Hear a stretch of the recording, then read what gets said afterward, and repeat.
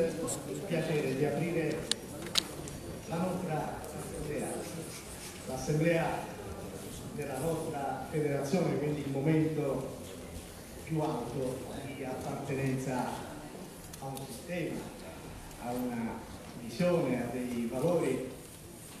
E quindi condividere questi momenti con chi tutto l'anno eh, vive le gioie e i dolori che caratterizzano il nostro mestiere è un momento davvero di orgoglio. Eh, è chiaro che i nostri luoghi hanno sempre rappresentato la casa fuori casa degli italiani.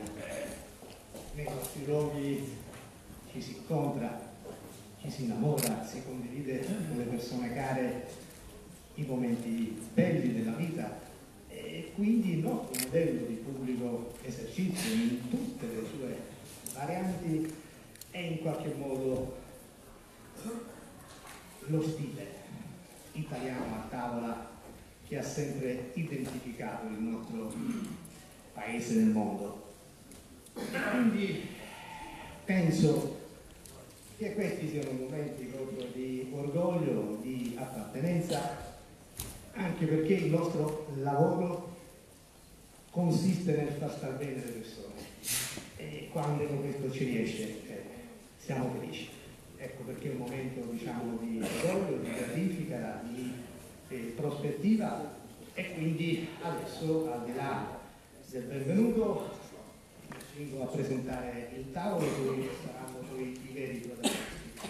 Alla mia sinistra c'è l'assessore allo sviluppo eh, economico della regione Lazio, Manzella, che ci poi eh, farà i saluti, il presidente Stoppani, che non c'è bisogno di spendere alcune parole se non ringraziare il Signore attraverso Donato.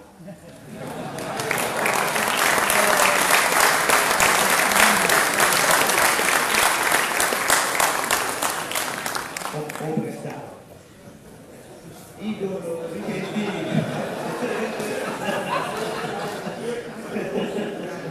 Ecco che adesso lo dobbiamo dividere la nostra reazione, quindi c'è un po' di conflitto.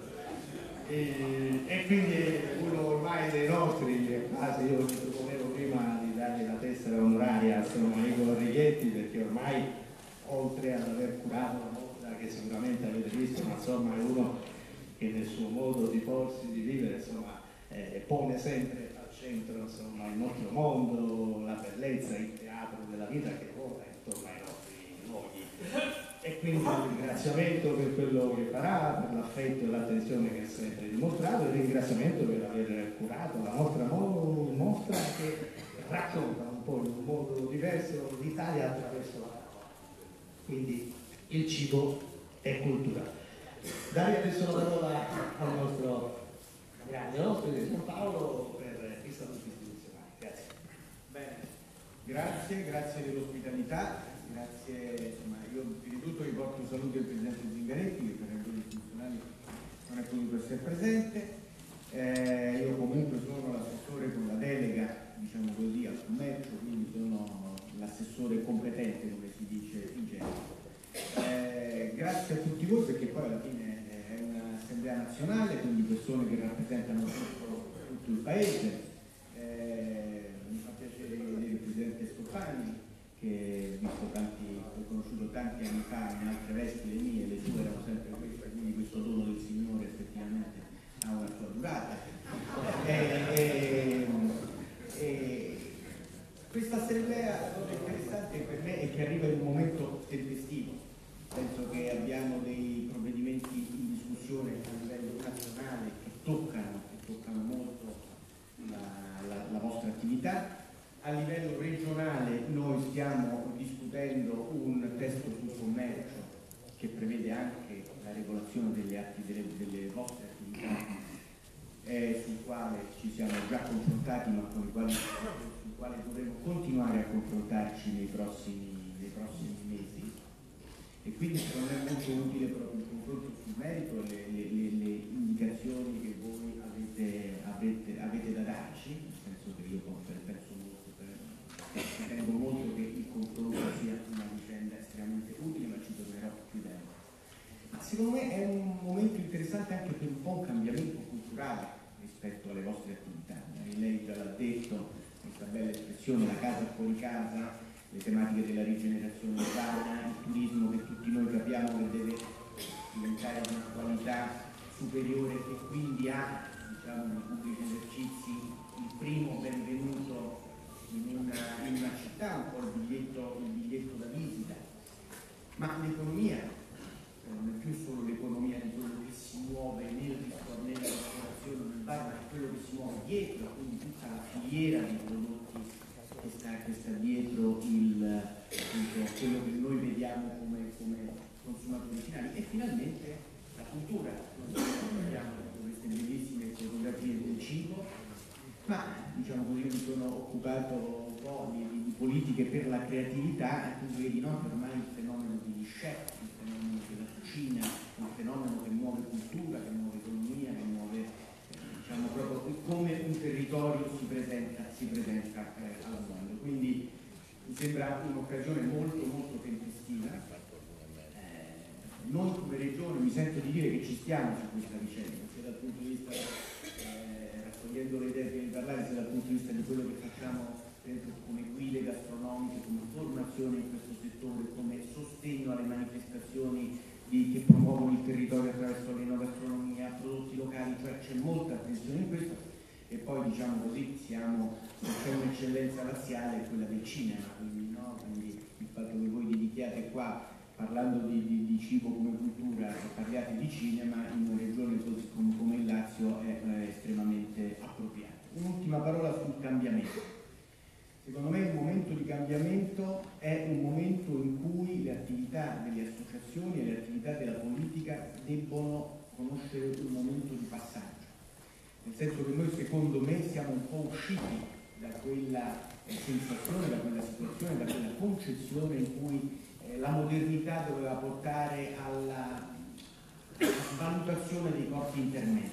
Ed invece si è capito che proprio perché la modernità è cambiamento e quindi velocità, i corpi intermedi servono semplicemente a chi prende decisioni, come capita in questo periodo della, della, vita, a prendere delle decisioni che, che, che diciamo siano delle decisioni reali, delle decisioni necessarie, delle decisioni che affondano appunto in quella, in, nel vostro caso in quella casa fuori, in quella casa fuori casa dove si incontrano le, le, le diverse esigenze. Quindi io penso che ci debba essere un momento, il paradosso è che quando proprio si pensava che la modernità avrebbe eliminato il bisogno di corpi intermedi, secondo me ce n'è più bisogno, ma secondo me, così come c'è bisogno per la modernità di una politica più veloce e più di qualità, c'è anche bisogno di un associazionismo che io come dico spesso deve essere un un chirurgo, cioè deve mettersi nei panni degli altri, di prendere decisioni e intervenire con delle proposte molto eh, precise, molto eh, motivate, perché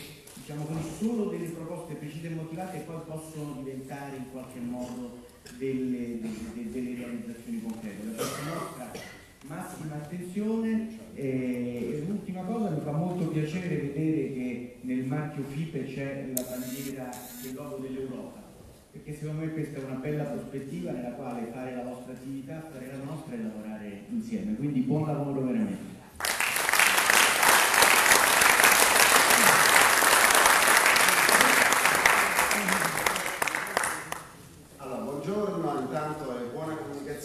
sono solito dire anche nel mio comunicativo, ci siamo utilizzati gli occhi con queste immagini, devo dire cariche di emozioni e, e preziose immagini ad alto tasso calorico, visto che insomma c'è un po' di tutto dai gelati alla pizza agli spaghetti, le nostre eccellenze italiane nel mondo, per ho pensato a un mostro del genere, a, a unire proprio il cinema con eh, l'altra nostra eccellenza che sono appunto che è il cibo, quindi la nostra prodotti enogastronomici, il gelato, il caffè, tra l'altro è una proprio sul caffè e i personaggi del nostro passato che, eh, che sto ultimando ed è veramente particolare. La prima settimana dedicata al cibo, il 2018, ricordiamo, eh, e quindi eh, il cibo da sempre ha proprio raccontato no? i mutamenti, i cambiamenti, le differenze sociali, le abitudini alimentari eh, di, di un periodo storico le tendenze gastronomiche, le trasformazioni dei costumi. Quindi era importante in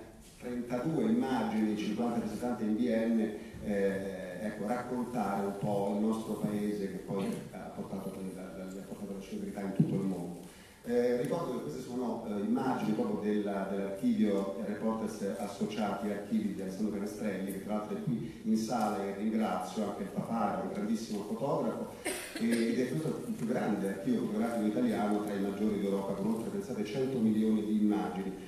E poi ringrazio qui in sala, molti di voi l'avranno eh, conosciuta e l'hanno anche salutata con grande affetto come tutti voi, l'annunciatrice RAI Rosanna Baudetti che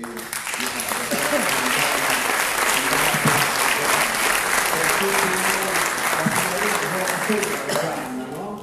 erano questi personaggi che entravano in punta di piede nelle nostre case eh, con classe, con eleganza, cosa che purtroppo la televisione italiana di oggi ormai ha perso da tempo, questo devo, eh, devo confermare da autore radio televisivo anche RAI. E, e, quindi mi fa molto veramente tanto, tanto piacere Rosanna della, tua presenza. All'interno della cartellina che vi è stata eh, consegnata, questa è un'informazione di servizio ma è importante per tutti noi, eh, vi è stata data appunto delle, delle schede con le immagini delle, delle opere, delle, delle, fotografie che avete visto, ci sono anche però gli aforismi, non so se avete notato, sono gli aforismi che ho selezionato, sono alcuni strepitosi, proprio sul cibo, e poi ci farebbe piacere anche una vostra opinione, un vostro ricordo sul, eh, legato proprio al cibo. Ecco, se mm, ci farebbe davvero piacere avere vostra, questi vostri suggerimenti e questo vostro ricordo, ehm, al termine poi troverete e potete consegnare direttamente le schede eh, all'uscita.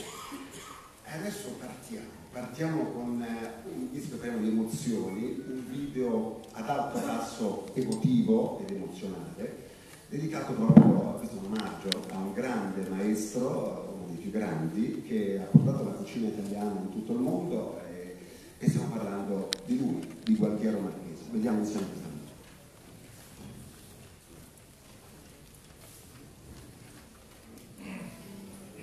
Dal 1977 che è stata la sua apertura di Milano da lì che inizia forse la rivoluzione della cucina filtrato tutto attraverso il cervello contemporaneo quello che erano stati gli insegnamenti dell'albergo, dei suoi genitori, quindi ha guardato il passato in una chiave critica e non nostalgica e l'ha portato nel futuro. Noi siamo quello che abbiamo visto e che abbiamo potuto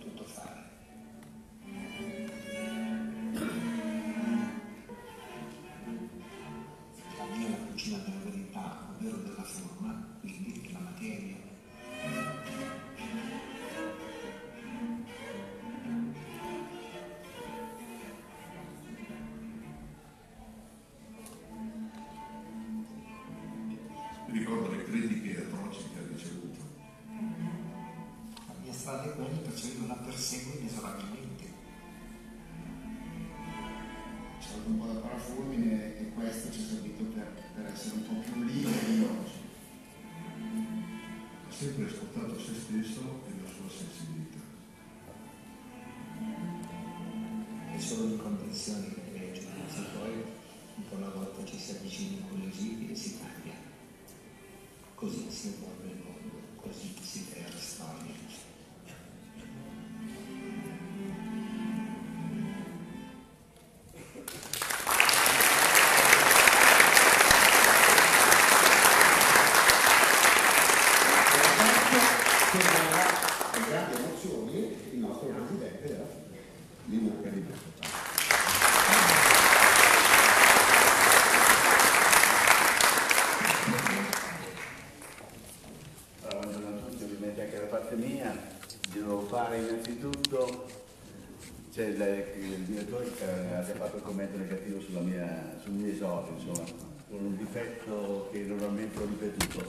Ma a parte questo, tre premesse. Una, prima un saluto e un ringraziamento ai rappresentanti istituzionali, in modo particolare al Ministro Centinaio che è in arrivo, all'assessore Manzella insomma, che ha dedicato anche riflessioni pertinenti collegate alla sua funzione di assessore regionale alle politiche e eh, attività produttive, ai nostri relatori, in particolare al moderatore Righetti, a tutti a voi. La seconda, la seconda premessa l'ha già fatta bene Igor Righetti invitandomi al voto, insomma l'anno prossimo c'è l'assemblea elettiva della federazione, insomma a riguardo avete visto insomma, che il vicario mi è già occupato del ruolo di gestione dell'assemblea, ma questo eh, denota anche il clima. Allora allenate che votare, dentro la cartelletta ci sono due, due schede di votazione per la miglior foto e la migliore aforisma, se avete voglia di divertirvi un attimo è una bella cosa. La terza premessa invece è molto più seria, insomma, perché stamattina il Presidente Sangalli mi ha molto dispiaciuto, mi ha informato insomma, della sua assenza. Insomma. Su questa situazione ha mortificato, si è scusato e mi ha incaricato di portare il suo saluto e la vicinanza, in modo particolare alla federazione, che, a cui è sempre stato, ha sempre dimostrato affetto e vicinanza, tra l'altro vicinanza dimostrata nei fatti eh, lo dobbiamo comprendere, insomma è un periodo complicato per lui soprattutto sul fronte umano. Ieri è stata una giornata importante per il commercio, il Consiglio confederale non solo ha deliberato la, eh, la, a larghissima maggioranza le proposte del Presidente su alcune modifiche statutarie, ma neanche rinnovato solidarietà, vicinanza, sostegno e soprattutto affetto. Il tempo è medicina, insomma, e come ha detto ieri il Presidente Saccari nel suo intervento, recitando una poesia di Eugenio Montale a Ganna, la verità uscirà. Vi invito ad esprimere al Presidente Sangalli un saluto.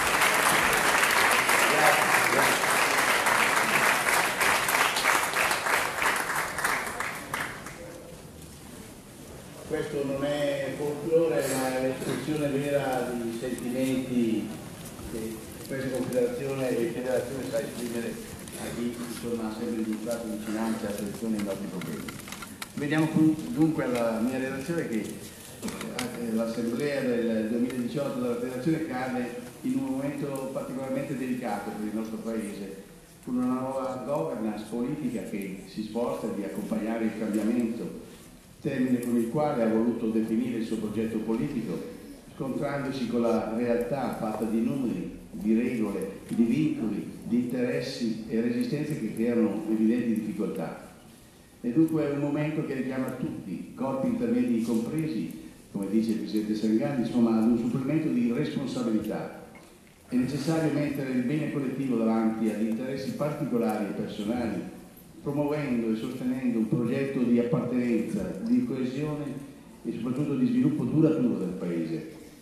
Si ha talvolta l'impressione che l'ideologia prevalga sulle idee, come testimonia il progetto di legge sulle chiusure domenicali che appare nella sua formulazione difficile da comprendere perché non considera le mutate esigenze dei consumatori e il diverso contesto competitivo. Noi riteniamo che in questo Paese serva meno assistenzialismo e più libertà di impresa, con regole uguali per tutti e una maggiore dignità per lavoratori di imprese. La dignità però vera, quella che non si determina per decreto, ma che deriva dalla possibilità di lavoro offerte dal tessuto sano delle imprese che riescono a generare profitti e ricchezza da distribuire anche a favore dei lavoratori.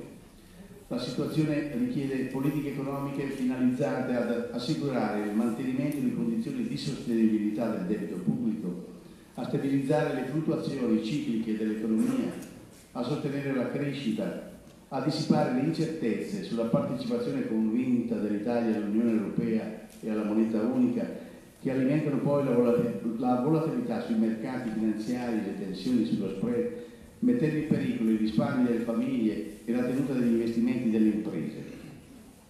Percorrere la strada delle riforme strutturali è necessario e contemporaneamente impegnativo perché i risultati maturano lentamente ed è una priorità evitare che si deteriorino le condizioni di finanziamento degli investimenti a causa di più alti tassi di interesse anche sul debito pubblico.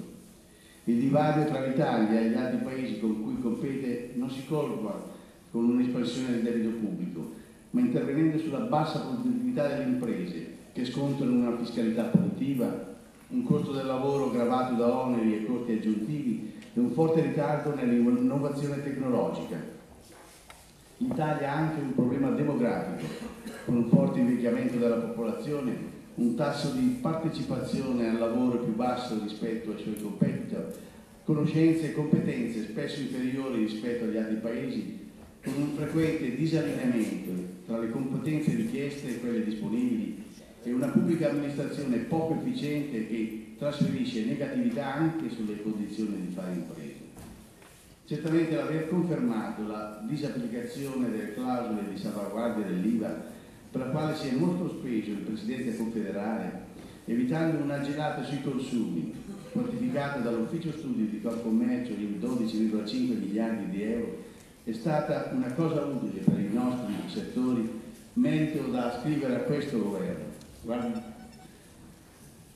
diamo il benvenuto al Ministro Centinaio.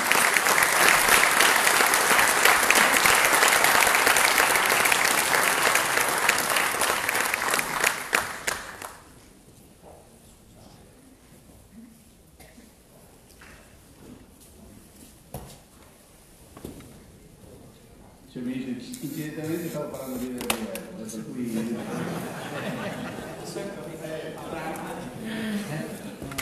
Dicevo che certamente eh, quando si dava il governo l'aver confermato la disapplicazione delle clausole di salvaguardia dell'IVA che avrebbe eh, procurato la gelata sui consumi quantificata da noi in 12,5 miliardi di euro è un merito da scrivere a questo governo. Altri provvedimenti invece lasciano perplessità, come gli interventi sul reddito di cittadinanza e la revisione della legge Fornero. E proprio partendo dall'osservatorio di economia reale offerta dal nostro settore, come non pensare agli appesantimenti sui contratti a tempo determinato che hanno penalizzato la flessibilità organizzativa delle imprese, al mancato ripristino dei voucher anche per il nostro settore, al decreto RAI in discussione al Parlamento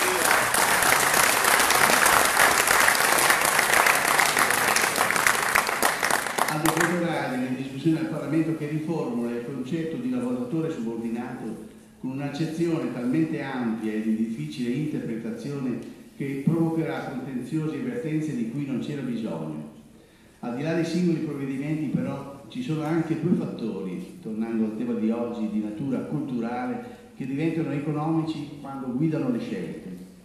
Il primo è collegato al concetto di ricchezza, quando non viene più considerata dal punto di vista della sua produzione, cercando quindi di favorire investimenti, capitalizzazione delle imprese, rispetto del giusto rapporto profitto-rischi, ma da quello della sua distribuzione, indipendentemente cioè dai meriti, dai rischi assunti e dai contributi offerti alla sua produzione. È un messaggio che ci sembra diseducativo, perché allontana dall'etica del dovere, del fare, del sacrificio e della dignità che sono i fattori essenziali del lavoro. Distribuire risorse con attenzione alle fasce più deboli della popolazione rientra certamente tra i doveri e i principi di uno Stato sociale, ma virare pericolosamente verso l'assistenzialismo impoverisce soprattutto i giovani. La, la vita si costruisce infatti investendo sulla propria persona, studiando e lavorando seriamente, considerando i valori del risparmio e dell'impegno quotidiano e non confidando sul facile accesso ai trasferimenti dello Stato come comodo elemento di sussistenza. E così la ricchezza, prodotta e non sfruttata, diventa anche un bene più ampio, esistenziale e quindi realmente sociale. Collegato c'è quindi il secondo concetto, che riguarda il modo di affrontare il confronto politico, istituzionale e relazionale a tutti i livelli, dove è diffuso un infestante che mina la base, i meccanismi della società e della democrazia è il livore, il livore che inquina il paese, che alimenta contrapposizioni e divisioni, che allontana la soluzione dei problemi, che alimenta cattivi esempi e danni reputazionali. L'avversario è sempre considerato un nemico, da colpire e maltrattare a prescindere dagli interessi e dalle ragioni in discussione, spesso cadendo nella maleducazione e nella cattiveria. C'è bisogno di ripristinare rispetto verso le persone e le istituzioni e la buona educazione non deve essere considerata un elemento di debolezza, ma uno dei valori sui quali avviare il confronto leale sui problemi e sulle cose da fare. Il decadimento del Paese sta anche nel deterioramento di questi valori che hanno caratterizzato la sua storia secolare che vanno recuperati e rilanciati se vogliamo dare prospettive all'Italia. Prospettive e buoni esempi. Il 2018 è un anno particolarmente importante per il nostro settore, da un punto di vista sindacale e da un punto di vista simbolico. Sindacalmente, lo scorso febbraio abbiamo sottoscritto, dopo un percorso lungo quasi cinque anni, il primo contratto collettivo nazionale di lavoro per i dipendenti di pubblici esercizi della ristorazione commerciale collettiva e del turismo. È doveroso ringraziare ancora anche in questa occasione sia i nostri imprenditori per aver accettato il sacrificio economico dagli aumenti salariari riconosciuti nonostante un contesto ancora molto complicato, sia le organizzazioni sindacali per aver saputo comprendere anche le esigenze delle imprese sui temi della flessibilità e produttività. Abbiamo per la prima volta un contratto collettivo nazionale del lavoro espressamente dedicato al nostro settore, cucito sulle caratteristiche delle nostre 300.000 imprese che interessa oltre 700.000 lavoratori dipendenti del comparto. Dal punto di vista simbolico invece il nostro settore è stato richiamato ad un rinnovato protagonismo nel momento in cui il governo ha proclamato il 2018 anno nazionale del cibo italiano con l'obiettivo di rafforzare le sue trasversali funzioni economica, ambientale, nutrizionale, sociale, etica e anche culturale. Come ricordate ci eravamo lasciati nel novembre del 2017 con un'assemblea onorata da una visita a Sua Santità Papa Francesco, dedicata alla persona al centro della buona economia, dove avevamo affrontato la dimensione umana e sociale del lavoro, riprendendo i valori etici dell'impresa. Dopo il Santo Padre era eh, francamente difficile fare di meglio, ma abbiamo deciso di gettare un ponte ideale tra le due assemblee, tra persona e cultura, cavalcando così l'anno forte del cibo italiano e provando, anche a sfidare tanti luoghi comuni. Tita ha così deciso di, di dedicare quest'anno la sua assemblea al binomio cibo e cultura, perché è convinta che nella misura in cui riesce ad allargare lo sguardo oltre cioè agli aspetti economici o più tradizionali di un elemento essenziale della vita dell'uomo come il cibo, si migliora anche la sensibilità e la considerazione verso un settore come quello dei pubblici esercizi.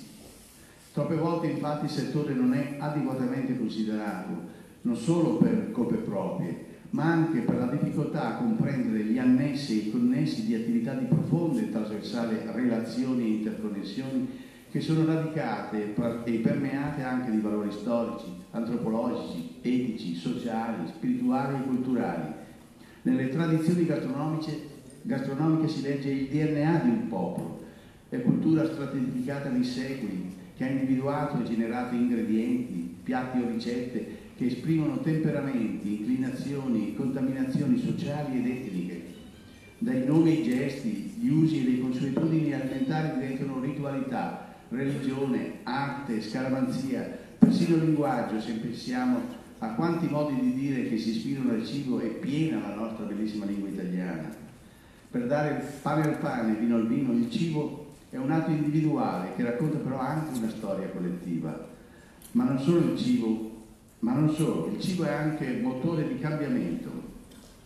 Per esempio la Great Famine irlandese che ha provocato carestie e morti a causa di una malattia della patata, ha dato avvio alla grande immigrazione dall'Irlanda verso il Nord America e rafforzato il nazionalismo che ha portato alla sua indipendenza dal Regno Unito, ridisegnando la storia e i confini dei paesi anglosassoni. Il legame tra il cibo e la storia e quindi la cultura di un popolo è insomma un fatto universale, ancestrale e anche elementare. In Italia lo è ancora di più, forse al massimo livello del mondo, e il cibo contribuisce a definire quello che Piero Bassetti ha definito italicità. Cade Fagiolo, il grande chef Paul Bocuse, scomparso lo scorso febbraio, quasi in contemporanea con il nostro grande Gualtiero Marchesi che abbiamo commemorato con il tornato e a cui ho potuto ancora il mio affetto, Paul Bocuse affermava già 30 anni fa che la cucina francese avrebbe perso la sua leadership internazionale quando i cuochi italiani si sarebbero resi conto del patrimonio di ingredienti e di ricette di cui dispongono. A proposito di Gualtiero Marchesi, grazie alla sua fondazione e all'impegno intelligente di enti, lo diciamo con soddisfazione, attivata ovviamente al riguardo da FIPE, è stato promosso un World Tour con tappa nelle principali capitali per promuovere il patrimonio della cucina italiana nel mondo, progetto al quale hanno aderito i suoi più bravi allievi, oggi stelle della ristorazione internazionale che ne saranno gli straordinari interpreti. Un patrimonio ricchissimo il nostro, con radici storiche che si perdono nel tempo e che permettono una differenziazione unica, frutto di una straordinarietà geografica e di una capacità di elaborazione tutta italiana. Riprendere e rafforzare questi legami non significa solo ribadire o rafforzare il ruolo della rappresentanza del, del settore, ma significa prendere consapevolezza di quanto il cibo sia parte integrante del nostro passato e una parte fondante del futuro del nostro Paese. Un asset strategico, non sempre compreso a fondo, spesso svilito al secondario fenomeno di costume o nobilitato solo per un segmento della filiera che lo sostiene. Infatti molto spesso si identificano i temi dell'accoglienza come argomenti di esclusivo interesse degli alberghi, oppure quelli collegati all'alimentazione come di pertinenza della sola agricoltura, sottovalutando la funzione fondamentale della ristorazione anche come strumento strategico nella valorizzazione e promozione della nostra offerta turistica e agroalimentare. I pubblici esercizi sono infatti la qualificata rete di gestione, di valorizzazione e trasmissione di questo patrimonio. E questo il messaggio che vogliamo trasferire ai nuovi responsabili politici, con la richiesta di garantirne uno sviluppo attento alla qualità dell'offerta, che pone un quadro di regole in grado di favorire concorrenza reale tra i diversi operatori, partendo dal rispetto del principio stesso mercato, stesse regole. La prima regola che normalmente si applica ai patrimoni aziendali è quella della massima valorizzazione del capitale investito. Se si ha un asset di valore si cerca di sfruttarlo per ricavarne il massimo rendimento, ma la cucina del paese, che sono i nostri pubblici esercizi, non viene utilizzata al pieno delle sue potenzialità. Lo dimostrano una serie di esempi, prova di un problema strutturale di approccio al settore. L'eccesso di offerta derivato dalle liberalizzazioni, che ha permesso a tutti di fare tutti, con il risultato di una evidente e strisciante dequalificazione che impoverisce il settore i tassi di mortalità, soprattutto dalle nuove imprese, superiori nei 5 anni al 70%, il rischio delle infiltrazioni malavitose, la diffusione della la diffusione delle malattie alimentari, le patologie dell'alcolismo e della malamovida sono evidenze di un indebolimento del comparto. Certo, non aiuta la mancanza di prospettive certe, come il caso degli stabilimenti balneari, che rimangono nella drammatica situazione di non avere un quadro normativo di riferimento con l'irrisolta questione della direttiva Bolkestein e l'imminente termine nel 2020 delle loro concessioni demaniali. Stessa cosa per le case da gioco, con le difficoltà che interessano due casinò, Campione d'Italia e Semensan, per le quali andrebbero valutati interventi di sostegno e di ridefinizione del loro modello di business se il contributo da loro offerto come elementi di attrazione turistica e generatori di gettito fiscale, oltre che oasi di gioco lecito, avesse ancora una funzione, come sempre, indipendentemente dalle valutazioni di merito, che rispondono però a sensibilità molto soggettive. Anche i meccanismi delle gare di appalto pubblico per la ristorazione, consolidatisi sui criteri del massimo ribasso rispetto al prezzo di base d'asta, generano conseguenze perverse danneggiando anche fasce deboli della popolazione come i malati negli ospedali, i bambini nelle scuole. Come ciliegina sulla torta, stavolta però avvelenata, emblematico il disastro provocato dalle gare Consul per i buoni pasto per la pubblica amministrazione, che ha portato al fallimento di quel gruppo, con oltre 23.000 imprese coinvolte ed un debito di oltre 320 milioni di euro, favorito da tante mancanze, anche della stessa Consip, che non solo ha stressato le condizioni di offerta economica, ma che contemporaneamente non ha vigilato, come noi avremmo voluto, sul corretto adempimento dei vincoli contrattuali di gara assunti al momento della giudicazione della gara. La lista delle anomalie sarebbe lunga, frutto della mancanza di una visione strategica e complessiva del mercato, considerando anche il forte valore sociale dei pubblici esercizi. Infatti i locali pubblici sono luoghi di aggregazione dove le persone si incontrano, si conoscono, si confrontano e dialogano, coltivando relazioni sociali e valori che hanno nell'ascolto, nell'amicizia, nella condivisione e nel rispetto, elementi utili e premianti per coltivare, per coltivare umanità, fondamentale per crescere una società giusta e preferibilmente anche migliore. Ecco il ponte con la persona di cui abbiamo parlato nell'assemblea dello scorso anno.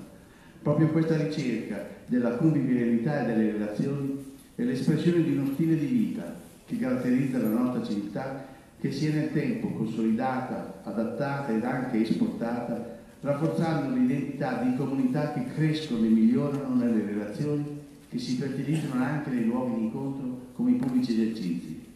Il sistema dei pubblici esercizi e di attività che dilatano l'uso del tempo, come le discoteche, i locali di intrattenimento serali notturni, presenti in modo capillare nel nostro Paese, rappresentano i tratti distintivi di marchio territoriale e di ospitalità che non, che non può mancare in un sistema turistico competitivo. Sui pubblici esercizi intervengono numerose competenze ministeriali che rischiano spesso di non essere coordinate e di sovrapporsi dal Ministero delle Politiche Agricole al Ministero degli Interni o al Mise, dal Ministero della Salute al Ministero dell'Economia e della Finanza. Siamo competenza di tutti, con l'evidente constatazione di non essere competenza di nessuno in quanto a responsabilità.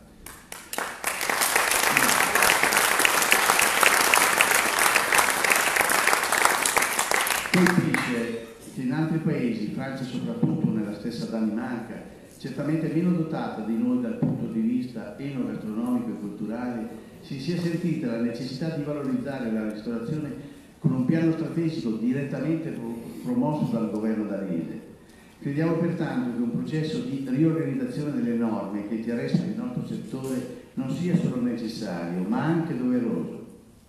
Non vogliamo cadere nel vittimismo che è tanto diseducativo quanto inconcludente, rimuginando su quei provvedimenti che non hanno fatto bene al settore, dal mancato sostegno dei distretti del cibo alla valorizzazione dei prodotti locali, agli incentivi fiscali per l'ammodernamento delle strutture che escludono costantemente le imprese della ristorazione, a meno che non cadano sotto l'ombrello della ricettività o dell'agricoltura. Tradotto, se sono ristoranti non sono meritevoli di sostegno, se sono invece ristoranti d'albergo o agriturismo, sì.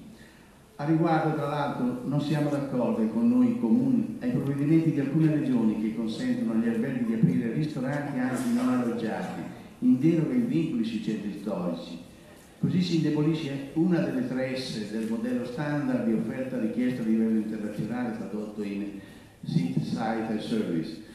Non si fanno infatti conti senza l'oste, perché se non costituiscono più un problema i mezzi di trasporto, cioè il sito, né le strutture ricettive dove alloggiare, cioè il site, è sul sistema dei servizi, cioè sul service, che si sviluppa la competizione in un territorio che sconta carenze su questo fattore, anche per la debolezza della sua offerta ristorativa non adeguatamente interconnessa con il resto dell'offerta, porta di inefficienze complessive che incidono anche sulle presenze e gli indici della stessa occupazione alberghiera. Non vogliamo piangere sul latte versato e per questo proponiamo al Ministro Gianmarco Centinaio, nella sua duplice funzione di responsabile dell'agricoltura e del turismo, di farsi promotore di un tavolo di concertazione sui pubblici esercizi e la ristorazione italiana con il compito di ascoltare le principali istanze del settore e ricercare le soluzioni che possono aiutare i nostri imprenditori a contribuire maggiormente alla crescita di questo Paese. Ogni giorno milioni di italiani, di turisti entrano in un ristorante o bar di una stazione, di un aeroporto, di un'autostrada e di tante strade o piazze delle nostre città.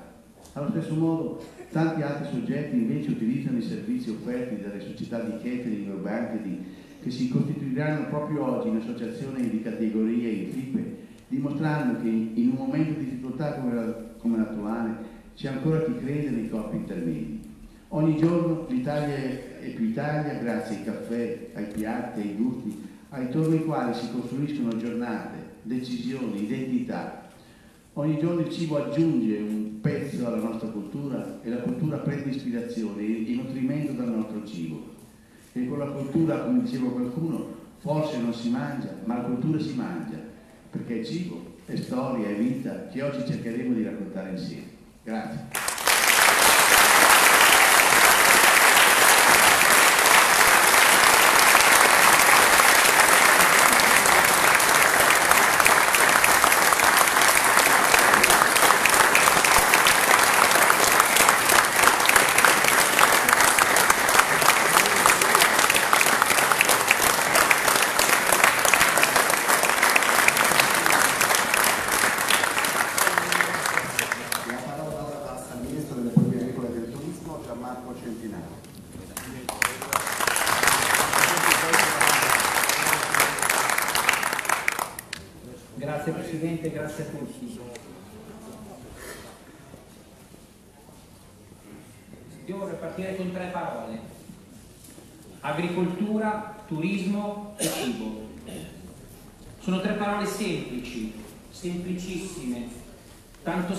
Quanto da sembrare banali.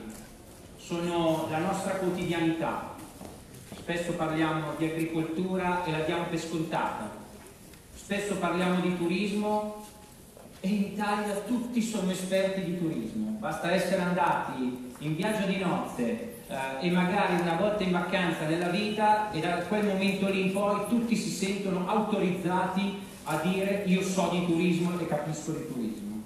Quando usiamo la parola cibo, che è una, è una parola che forse viene eh, dalla pappa quando si era piccoli, al gnam gnam, al, al, al, al, cibo quotidiano, è la parola forse che viene più usata durante l'arco della giornata. Andiamo a mangiare, mangiamo qualcosa, beviamo qualcosa, ti offro un caffè, Pensate quante volte nell'arco di una giornata usiamo, usiamo queste parole.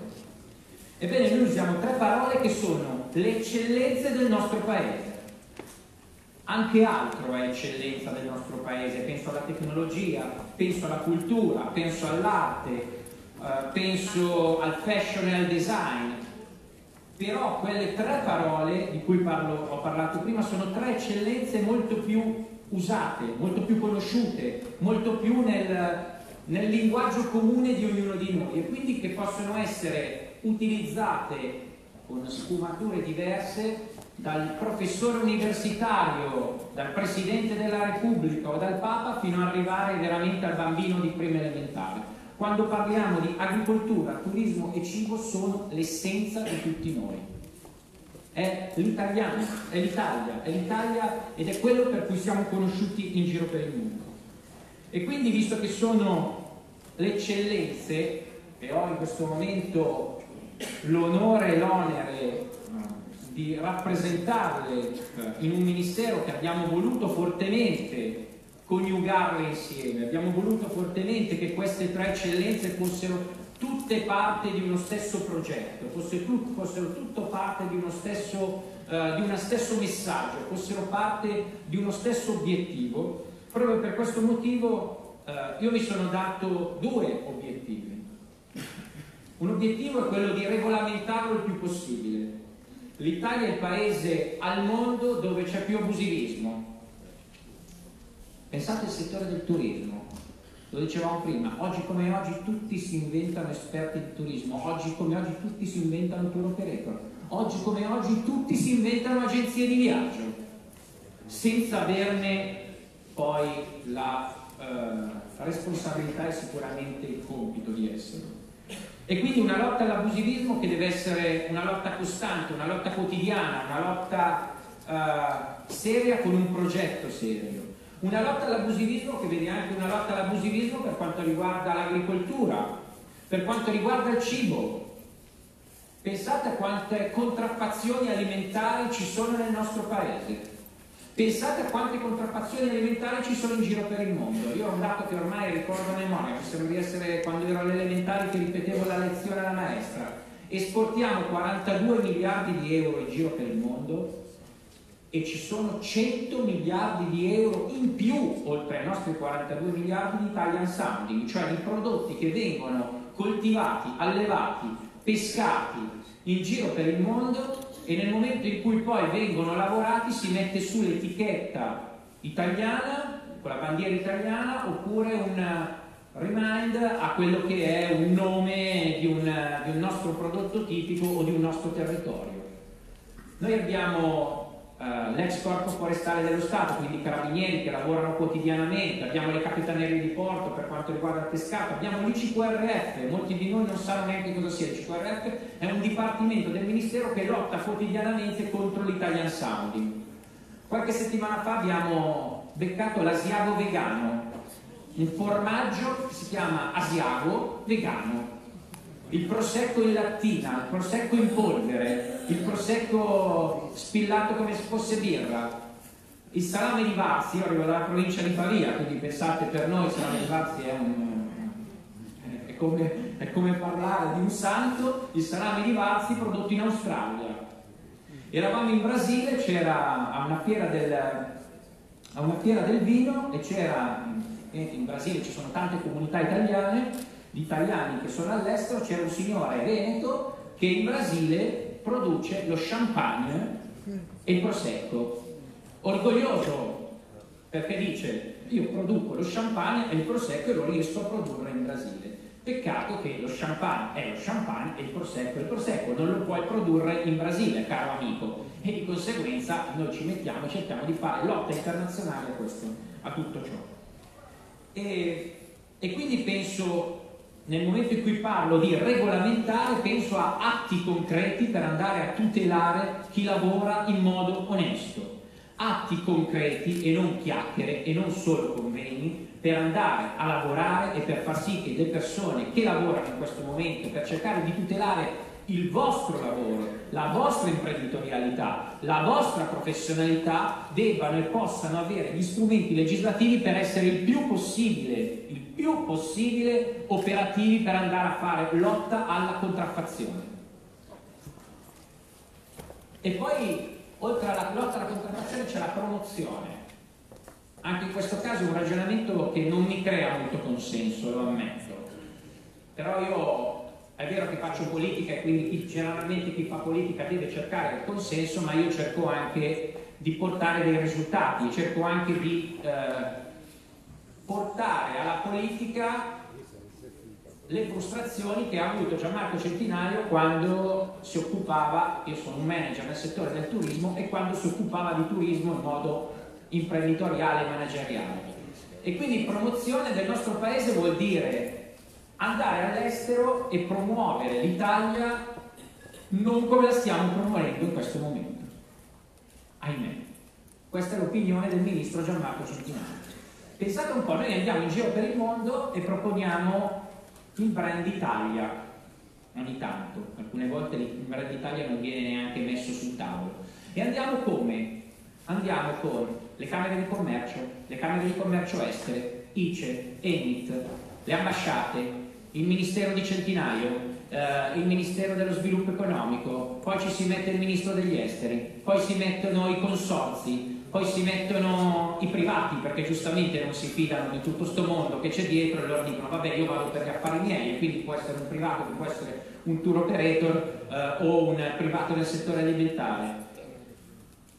Tutto questo si propone, forse sicuramente mi sono dimenticato qualcosa, tutto questo si propone in modo disarticolato e tutto questo molto spesso si propone pensando di avere la verità in tasca e quindi succede che nella stessa settimana in uno Stato si presenta, ah ci sono anche le regioni, scusate, ci sono anche le regioni, ci sono anche i comuni, perché poi i comuni più grossi riescono a proporsi anche loro. E quindi si va che un giorno ci va Centinaio, un giorno ci va Di Maio, l'altro giorno ci va forse eh, l'ambasciatore, magari si porta dietro la moglie con le amiche, l'altro giorno ci va il consorzio, l'altro giorno poi ci va ICE, l'altro giorno ci va EIT e poi i privati non contenti se ne vanno per gli affari loro. Questo è come si propone l'Italia in giro per il mondo. Questa è la fotografia di come l'Italia è vista altrove. Me lo dicono chi? I colleghi, non ministri, i colleghi del turismo che ci guardano dal di fuori. E poi invece ci sono gli altri, la Francia, la Spagna, la Germania, che si vanno a proporre, dico solamente i primi tre che mi vengono in mente, si vanno, vanno in giro per il mondo e come si propongono? Casa Francia, casa Germania, casa Spagna, pensiamo sempre al settore del turismo, Eravamo alle, ad alcune fiere poche settimane fa e c'era Enit, le regioni, i tour operator eh, e tutto il mondo, tutto disdiviso senza, senza, capire da dove si arrivava. Andavi, eh, andavi a vedere lo stand della Spagna e c'era lo stand della Spagna con sotto le regioni e con sotto i tour operator. Questo sta succedendo nel settore turismo ma succede anche nel settore alimentare, fidatevi, è la stessa cosa. Andare a vedere la Francia c'era la Francia, le regioni e i tour operator. Andare a vedere la Germania ed era la stessa cosa. Ma voi pensate che un interlocutore che non sa neanche dov'è la Lombardia, io penso alla Lombardia, non, passo, non parlo della Basilicata o del Molise, no? non sa neanche dov'è la Lombardia o il Veneto, pensate che preferisca andare a, ad avere come interlocutore qualcuno che si presenta in modo serio, in modo coordinato e tutti con lo stesso linguaggio oppure l'armata Brancaleone Italia che va in giro a proporsi in giro per il mondo dicendo che siamo il bel paese, che abbiamo i prodotti alimentari più buoni al mondo e poi riusciamo a esportare solamente 42 miliardi di euro e la Germania che non ha niente da esportare ne esporta 60 miliardi di euro di agroalimentare.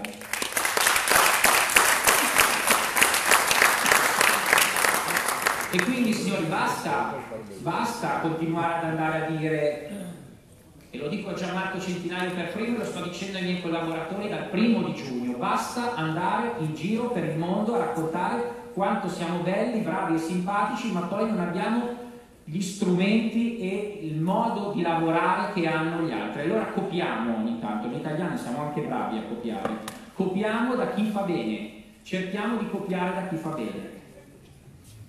E quindi penso che il prossimo step di Enit, quando nomineremo il consiglio di amministrazione, sarà quello di cercare di far sedere attorno a un tavolo, almeno nel settore del turismo, le regioni e gli operatori, in modo da cominciare ad essere un interlocutore autorevole di promozione del nostro paese in giro per il mondo.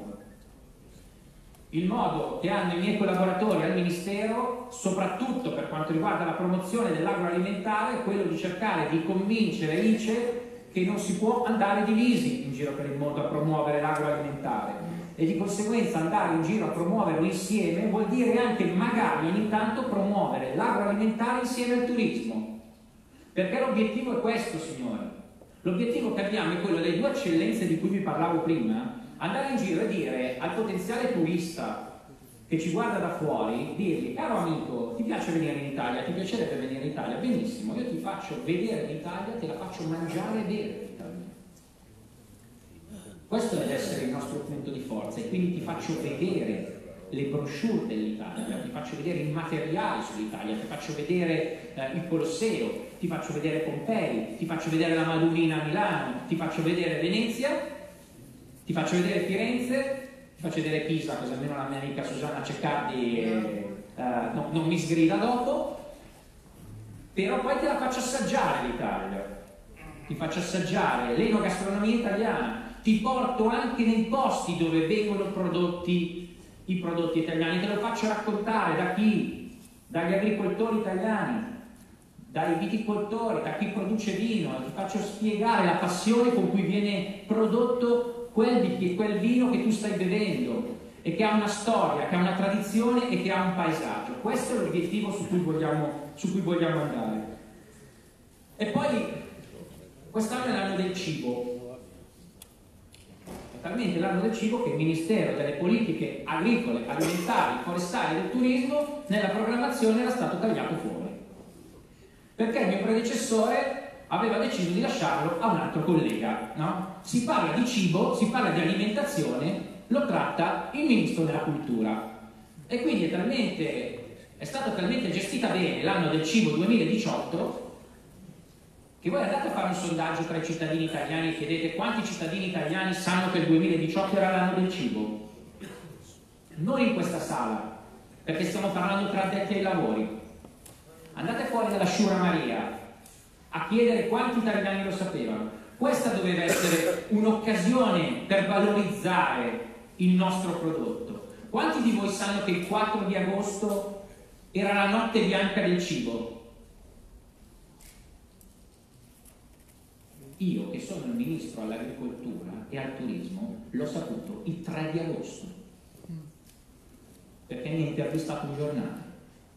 Non lo sapeva nessuno, non lo sapeva nessuno e allora bisogna comunicare in un altro modo. Vogliamo lanciare l'anno del cibo? Benissimo, lo si comunica e si mettono i danè, come si dice da noi, per comunicarlo e per promuoverlo.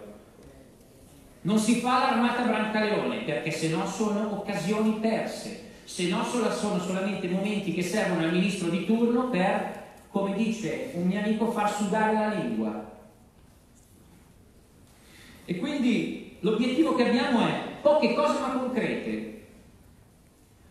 Questa è la settimana italiana del cibo del mondo, della cucina italiana nel mondo.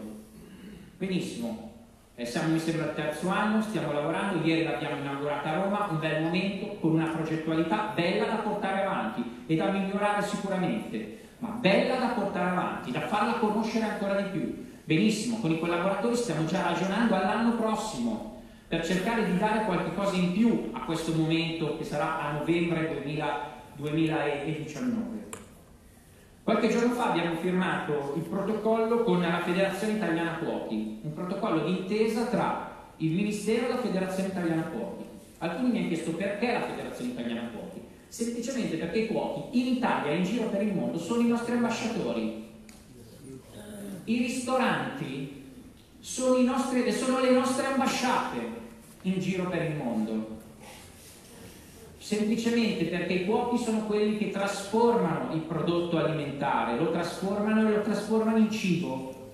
Sono quelli che ci mettono passione, sono quelli che ci mettono estro, sono quelli che ci mettono l'idea, sono quelli che ti creano emozioni. E quindi l'utilizzo, di questi ambasciatori, l'utilizzo dei cuochi per noi diventa fondamentale per valorizzare il prodotto Italia in giro per il mondo, ma valorizzarlo anche in Italia. Valorizzarlo anche in Italia vuol dire che i ristoranti italiani, i pubblici esercizi italiani, devono diventare parte integrante del sistema turismo e quindi la proposta del, che è appena stata fatta del tavolo di concertazione mi vede molto favorevole, molto favorevole.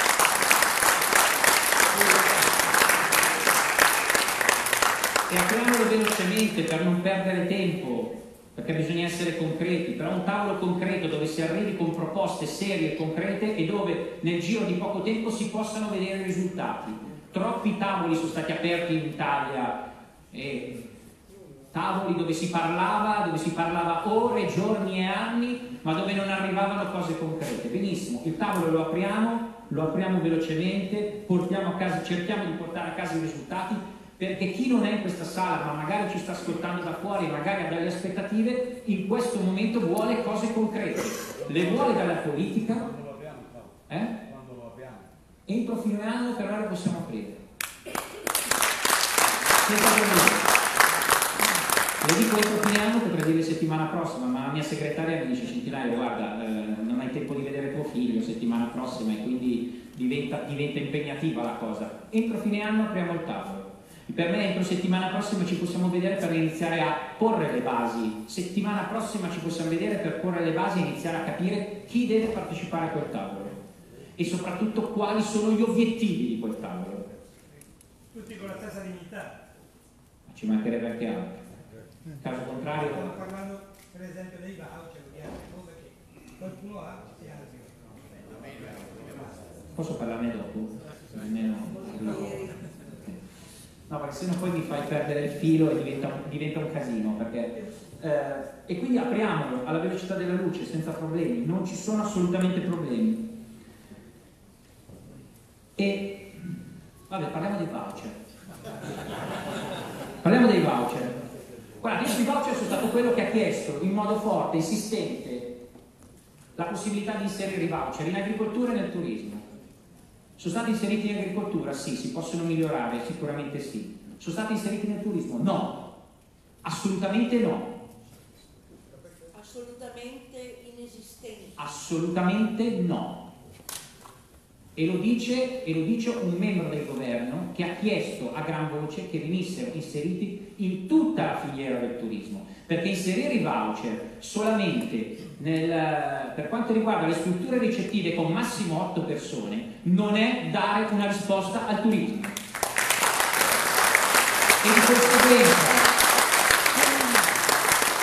chi va in giro a dire le fregnacce che sono stati inseriti i voucher nel turismo, compreso il ministro Centinaio, che ha detto forse è una cosa sperimentale, no? sa di non dire la verità, assolutamente. Ma sa anche che nessuno o la maggior parte delle aziende non hanno accettato questa formula perché è farraginosa. la nostra Luigi che tornate e Roma, mi raccomando, siamo, siamo il consiglio direttivo dove ti consento tutto, se abbiamo un ministro, lasciamolo finire, grazie. Signora, più che dire che non sono stati inseriti, se vuole mi prendo una frusta, mi frusto davanti a tutti, mi metto sui ceci e chiedo scusa, ma più di quello che le ho detto, cioè mi sembra di essere di aver detto chiaramente che su questo argomento il governo non ha dato una risposta. Se vuole poi apriamo un contraddittorio e, e, e le dico anche quello che pensa il sottoscritto su quella cosa. Cioè, poi, però penso anche, penso anche, faccio anche un ragionamento che quando si sbaglia si, può, si possono correggere gli errori perché i decreti non sono scritti sulle tavole dell'alleanza e non sono i dieci comandamenti e di conseguenza si può tornare indietro, si possono correggere e si possono fare cose secondo quello che ti, ti viene chiesto dai vari settori. Eravamo appena arrivati, eravamo appena arrivati, eravamo arrivati da qualche settimana, io già tanto che sono riuscito a fare quello che sono riuscito a fare e quindi penso di essere riuscito a portare a casa metà del risultato. Li abbiamo messi in agricoltura? Sì, bene, potevano essere fatti in un modo diverso? Sì, bene, io non faccio il ministro da 50 anni, lo faccio dal primo giugno e di conseguenza quello che siamo riusciti a fare è stato questo, per l'anno prossimo si possono anche modificare le cose. Punto, fine, basta. Con l'onestà intellettuale di venire qui davanti a voi a dire si possono cambiare le cose.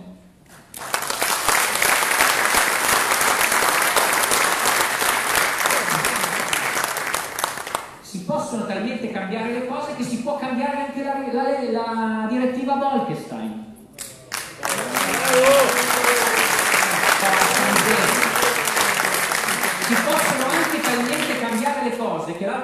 Salvini, quando gli ho detto guarda Matteo, che cambiare la direttiva Bolkestein è un problema, perché la burocrazia dello Stato italiano ci sta dicendo che non si può fare.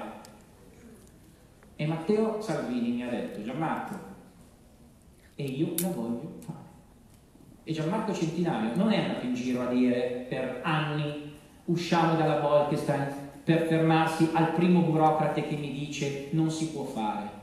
Perché se il signor Bolkestein ci dice che, dire- che i balneari, adesso parliamo dei balneari, non se ne abbiano tutti gli altri perché sennò poi parte la polemica, però So, diciamo che sono quelli, i balneari sono quelli che più di tutti ci stanno, ci stanno addosso, ma anche gli ambulanti, anche le, le, le, scusate, le guide turistiche, anche chi ha eh, gli stabilimenti di risalita in montagna e chi ha eh, i cantieri navali, quindi li mettiamo tutti.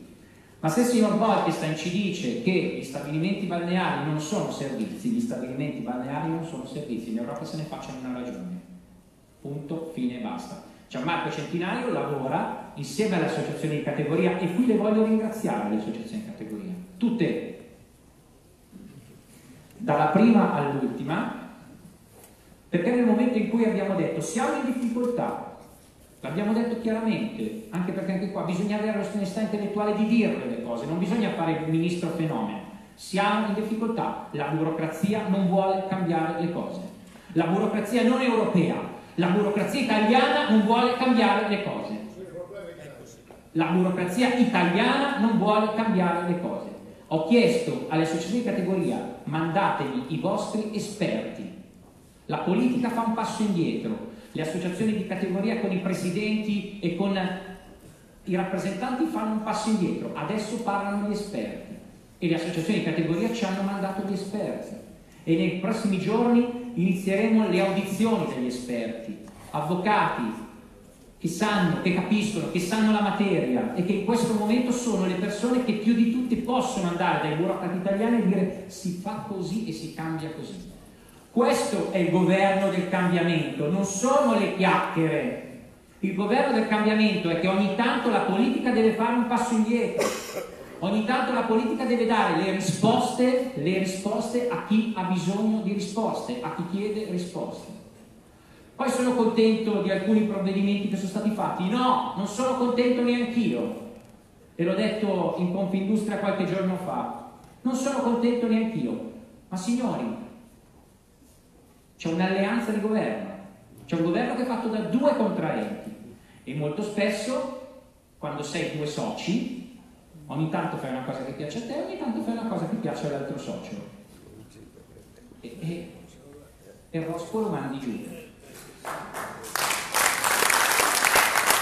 Perché se no, e qui termino e non vi rubo troppo tempo, perché se no io ricordo a tutti quello che è successo a giugno, a maggio dell'anno scorso.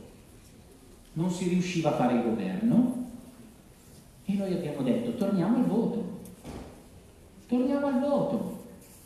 E l'Italia, e l'Italia e lo spread ha cominciato a salire. E gli italiani hanno cominciato a dire no, e facevano il tifo, facevano il tifo per questo governo, facevano il tifo. E anche qui dentro c'era gente che faceva il tifo e che ci ha contattati dicendo dovete fare il governo. Sapendo che governo sarebbe stato, piaccia o non piaccia, signori. Termino in positivo, perché io voglio essere positivo. Io sono convinto che le tre eccellenze di cui parlavamo prima sono quelle che ci possono permettere anche, possono permettere a molti di noi di fare un salto di qualità. Sono convinto che ristoratori italiani di qualità, e ce ne sono tantissimi, o i pubblici esercizi italiani, o le agenzie di viaggio italiane, o i tour operator italiani abbiano tutti una marcia in più rispetto a quello che viene fuori, viene da fuori, o che vediamo fuori. Però in questo momento c'è bisogno di fare sintesi, di unirci, di lavorare per un obiettivo solo, di lavorare per il nostro paese, di lavorare per l'immagine Italia. Dobbiamo dare qualità e dare qualità vuol dire che il ministro deve fare il suo, le associazioni di categoria devono fare le loro e devono essere di, spunto e critica e pungolo al governo e gli imprenditori devono essere messi nelle condizioni di lavorare e di lavorare nel migliore dei modi. Io l'auspicio che faccio è che ci siano eh, sempre più imprenditori di qualità nel nostro paese. Con imprenditori di qualità come si va d'accordo? Con chi vuole fregare la gente no. E mi spiego meglio. Oggi come oggi noi abbiamo sempre più bisogno di, eh, di dare un servizio al turista che arriva nel nostro paese. Il turista che entra nel nostro paese non può essere fregato eh, come succede spesso a Roma, come succede spesso a Milano, come succede spesso a Venezia, come succede spesso a Firenze, come succede spesso a Napoli. E allora eh, sono convinto che l'abusivismo alberghiero o alberghiero, l'abusivismo della ricettività debba essere combattuto. E quindi in questo momento i miei collaboratori stanno lavorando sul codice identificativo per quanto riguarda le strutture ricettive, perché chi lavora in modo onesto deve essere, eh, deve essere aiutato, ma chi lavora in modo disonesto lo stango, lo stango. E soprattutto io voglio, anche per quanto riguarda eh, i, i, ristoranti, che ci, sia, ci siano si possa fare, questo è un ragionamento su cui, su cui stiamo lavorando, si possa fare un bollino di qualità. Perché io voglio poter andare in giro per il mondo e dire ci sono dei ristoranti di qualità e quindi cari turisti andate in questi ristoranti di qualità, in quando venite in Italia, non andate da quelli che vi dicono che vi fanno la matriciana o la, o la polenta e poi la fanno con altri prodotti o lo fanno con chissà che cosa perché fregare la gente la freghi e poi te ne vai e poi questi non tornano più. Pensate nel tour operator dove lavoravo io, una volta abbiamo fatto un sondaggio a Roma e l'80% dei turisti che, avevamo, che a cui avevamo chiesto di darci un parere ci hanno detto a Roma non ci torno più e il motivo è perché sono stato fregato. L'80% dei turisti che non tornano più in Italia vuol dire l'80% di soldi in meno nel nostro paese, vuol dire tanti esercizi commerciali che chiudono vuol dire tanti ristoranti, alberghi, locali, negozi, artigiani che chiudono. Ecco, io l'obiettivo che ho è un po' più di legalità nel nostro paese. Ce la farò? Io spero di sì. Grazie.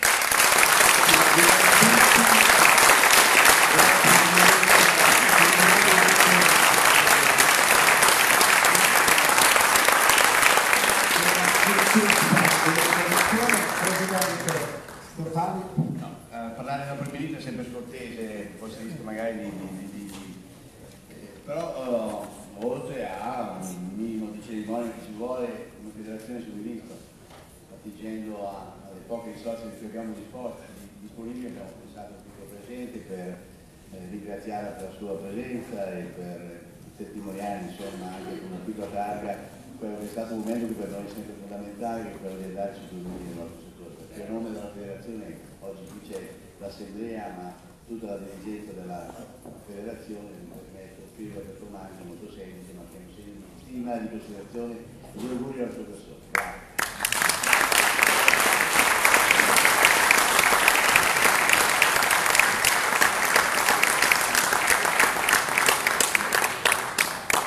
E poi, insomma, è un commento, un intervento così chiaro, determinante da parte del Ministro, anche onesto, anche nella, eh, così, della esposizione dei fatti che ha, e poi merita una brevissima replica, perché il Ministro ci lascia essenzialmente sei messaggi, insomma, dove al di là della titolazione di quello che è il suo impegno a valorizzare l'eccellenza di questo Paese, definendo agricoltura, turismo e cibo insieme a tantissime altre, quelle che sono evidentemente gli assi di questo paese su cui cercare di coltivare e fertilizzare gli aspetti di crescita quale c'è benessere, occupazione e tutto quello che ne consegue, ha usato quattro verbi che possiamo condividere. Innanzitutto quello di regolamentare, insomma, contrastando abusivismo e contraffazione e su questo argomento il Ministro insomma, si ricordi insomma, che eh, noi abbiamo sempre precisato che le regole ci vogliono ma bisogna farle anche rispettare. In questo Paese molto spesso l'esito principio, l'ho detto nella mia relazione, del stesso mercato per tesse regole. L'altro, l'importanza della comunicazione, della disarticolazione che oggi spesso caratterizza quello che è il modo di andare in giro a promuovere il nostro Paese, sulla quale lei ha fatto riferimento alle practice che fanno altri paesi, eh, ovviamente le best practice vanno anche copiate, vi faccio il complimento di lui che posso fare qualcosa di meglio rispetto a quella che è l'approssimazione che poi fa anche un danno reputazionale al nostro paese. Sull'importanza della comunicazione ovviamente rispondo una porta aperta, ha portato dei casi eclatanti in cui eh, non siamo capaci di, comunicare, citando l'anno italiano del cibo italiano oppure la notte bianca del cibo. E poi ha fatto eh, una promessa importante e impegnativa che è quella di attivare questo tavolo di intercettazione che è forse l'elemento essenziale della nostra relazione sulla quale poi avviare una revisione delle tante norme insomma, che potrebbero essere migliorate dando anche una precisa indicazione di quelli che sono i partecipanti poi eventualmente vediamo, gli obiettivi ma devo apprezzare questa sua reattività efficace nel raccogliere un'esigenza presentata con rispetto ma vedo insomma questo Ministro ha già dimostrato di essere molto efficace nei suoi passaggi. Infine, la, la, sul tema del voucher, do conferma a beneficio della dottoressa Roma che il Ministro con un sms mandato al Presidente Sagari quando si parlava di voucher aveva definito l'ipotesi che escludeva il nostro settore assurda e il Presidente Sagari l'aveva fatto vedere in un suo sms sulla direttiva Bolga era dato da cambiare ai nostri balneari presenti, ci sarà Tonino già giro pronto a marcarla, ce l'ha perfetto. E infine ha fatto un passaggio importantissimo sulla legalità, perché poi noi parleremo di cibo nelle varie forme, spiritualità, eh, cultura, letteratura, eccetera, ma anche legalità. E porteremo l'esempio di un ristoratore dove è Parisi nel Sala, che ha accettato denunciato con tutte quelle che sono le conseguenze su fatto sulla sua persona, insomma l'anno scorso nella manifestazione mi piace, ha portato la sua esperienza di ristoratore che aveva dato un esempio respingendo l'estorsione eh, mettendolo in pericolo ovviamente come poteva essere la sua vita ma dimostrando insomma quella che è la forza, la dignità che anche in questa occasione il nostro tessuto delle imprese dimostra, per cui rinnovo a Parigi l'apprezzamento, la stima per quello che ha fatto e lo richiamo alla realtà di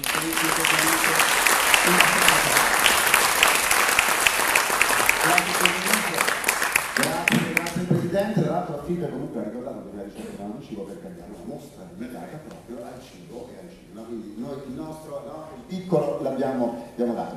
Io, Ecco, questo ci teniamo in modo particolare, cioè aforisma e immagine, qual è? Beh, immagine la situazione di tanto non è un voto zio Albertone, è grande americano a Roma, ovviamente eh, simbolo in tutto il mondo. Pensate che in Australia quella fotografia, sapete io sono nipote di Alberto Sordi, la mamma era Maria Righetti appunto, e in Australia è amatissimo e conosciutissimo, sono stato in Sud America in una mostra sempre Lucio Albertone eh, sembrava eh, a Roma, a Buenos Aires, è, è impressionante l'amore che c'è confronti di Alberto Sordi e quindi poi appunto tutti italiani all'estero, ma anche dei figli che ormai non parlano italiano poco, ma conoscono Alberto Sordi, conoscono i nostri i grandi del cinema. Io ringrazio il Ministro per il suo intervento e devo dire è molto schieto, mi capita di rado sentire un politico parlare, eh, ancora, ancora politichese continua a volte, ma ecco invece mh, mi è piaciuto un intervento molto,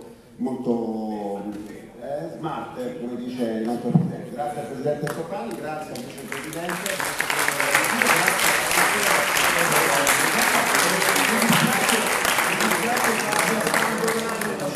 un presidente, vicepresidente, un assessore e un ministro, ma adesso arriva un altro eh, De Roy, eh, che appunto sono i relatori del nostro convegno, che lei ha già anticipato, Presidente, il convegno appunto in cibo e cultura. E, mh, sono appunto Pietro Parisi, Jean-Paul Hernandez, Gino Ruozzi, Angela Prenza e Filippo Davello, quindi davvero parterre De Roy e ecco qua che stanno salendo i nostri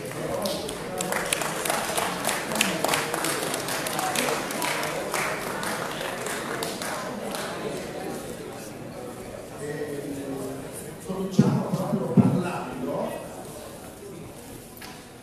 ecco il professore qua alla mia destra ciao cominciamo parlando del rapporto tra cibo, etica e legalità come anticipato dal Presidente Stoppani sono parole strettamente collegate tra loro perché non può esistere un cibo buono se l'agricoltura che lo produce è la filiera in cui è inserito non poggia le sue basi su rispetto, onestà e bontà. Ecco, Pietro Parisi è chef patron del ristorante Era Ora di Palma Campania, in provincia di Napoli, e io mh, partirei con una domanda a Parisi. Lei si definisce cuoco contadino, perché questa definizione? Salve buongiorno, come poco contadino perché dopo essere stata alla corte del maestro eh, sia a quartiere Marchesi che Cutassi in giro il mondo, eh, però na- ero nato in quella località, una campagna che era appunto la campagna Felix del- della campagna e i miei nonni e i miei genitori erano dei contadini. Dopo la mia grande esperienza professionale in giro per il mondo, arrivato a, a fare lo chef di un stellato a Dubai, dall'isola d'Arabia, ritorno appunto a Palma Campagna e diventato la mia professione. Nel 2005? Nel 2005 e ri- rimetto di nuovo in discussione tutto quello che era il mio lavoro. Da una cucina stellata ritorno a una cucina povera, a una cucina di tradizione. E da lì poi parte la mia esperienza di vita, ma soprattutto anche da imprenditore. E lei fa utilizzare materiali riusciti? Soprattutto eh, nel 2005 quando in giro per il mondo si parlava di cucina molecolare, novel cuisine, io parlavo di cucina del recupero, del riuso a chilometro zero, eh, soprattutto di una cucina che raccontasse e narrasse non solo il mio territorio, ma anche quella gente che duramente lavorava nei terreni, nei campi di quel, di quel mio territorio che nel 2005, se ricordate bene, si parlava di eh, terra dei territori. E da lì è partito anche il concetto di cucina di Pulita, pulita, di legalità di- e soprattutto quando io parlo di Di cucina cosa consiste ecco, la cucina pulita? Perché per, per combattere la camorra, no? dice, cioè, cucina come strumento. Beh, prima di parlare di cucina di legalità, noi dobbiamo iniziare a parlare di una cucina che sia di dignità, perché quasi sempre i cuochi oggi hanno dimenticato che cos'è, ma penso che anche i giovani della mia stessa età, che cos'è la dignità. A volte si fanno troppo dei compromessi per arrivare a un certo successo e pensiamo oggi i cuochi a che livello sono arrivati, ma soprattutto a cosa aspirano. no?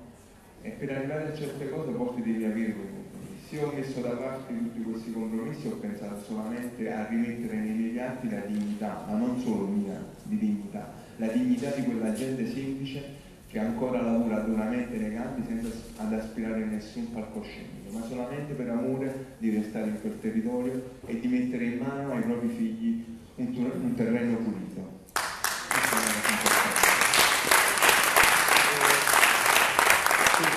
Masterchef in questo caso, visto che ormai la è tutta televisiva, per fortuna che non arrivano gli odori, dico sempre io, dalla televisione per ora non arrivano gli odori, perché altrimenti saremmo veramente eh, rovinati. Ecco, lei ha avuto il coraggio di ribellarsi al racket, lo accennava prima il Presidente, ma che cosa invece frena ancora tanti imprenditori? Io credo che quello che io ho fatto è stata una, una cosa più normale che un, chi vuole bene alla propria terra lo debba fare, perché significa che vuoi bene alla terra, ai tuoi figli e soprattutto non vuoi abbandonare quella terra. Certo il coraggio ce ne vuole, però credo che tra coraggio e sopportazione in questo caso è meglio il coraggio, il coraggio di farlo, perché poi eh, non è stata semplice il giorno dopo, ma ancora oggi non è semplice rivivere in quel luogo, perché poi quando sei un imprenditore che denuncia il racket, dopo un po' viene lasciato solo, come è stato fatto a me. Anche le banche mi hanno abbandonato a un certo punto della mia professione dicendo che ormai non ero un soggetto più sicuro e stabile e questa è stata la cosa più mortificante che mi poteva accadere, perché nel momento in cui ero, avevo 5 ristoranti con 30 dipendenti, all'improvviso ti vedi dopo 3 mesi, un anno ritirare tutti i figli dalla banca, ti senti veramente male. E quindi stata ancora un'altra battaglia da combattere, non solo il racket, ma è stato combattere anche le banche in quel caso.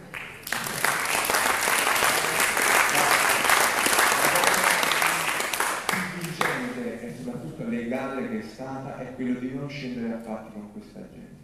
Perché io credo che il cibo è legalità, ma il cibo ha anche fare unione.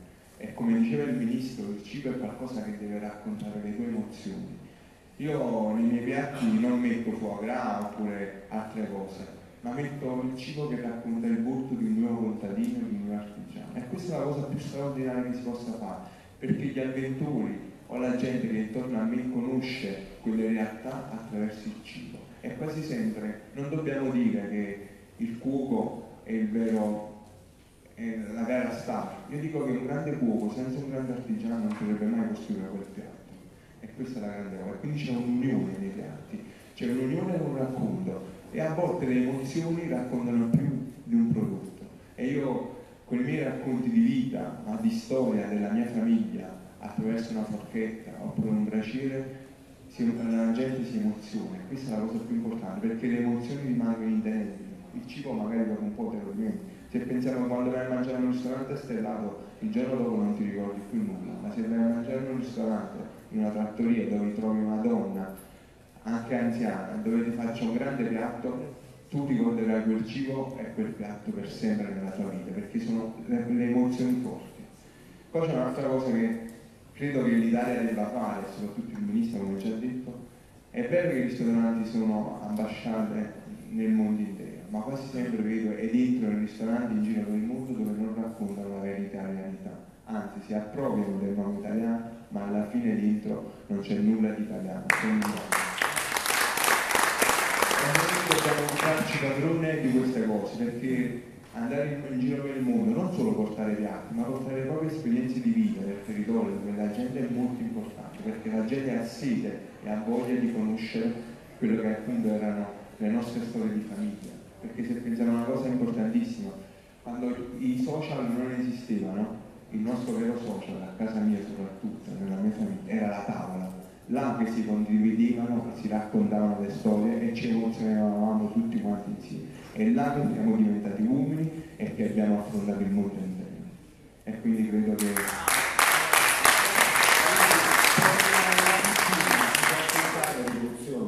io ho iniziato a fare le rivoluzioni nei carceri.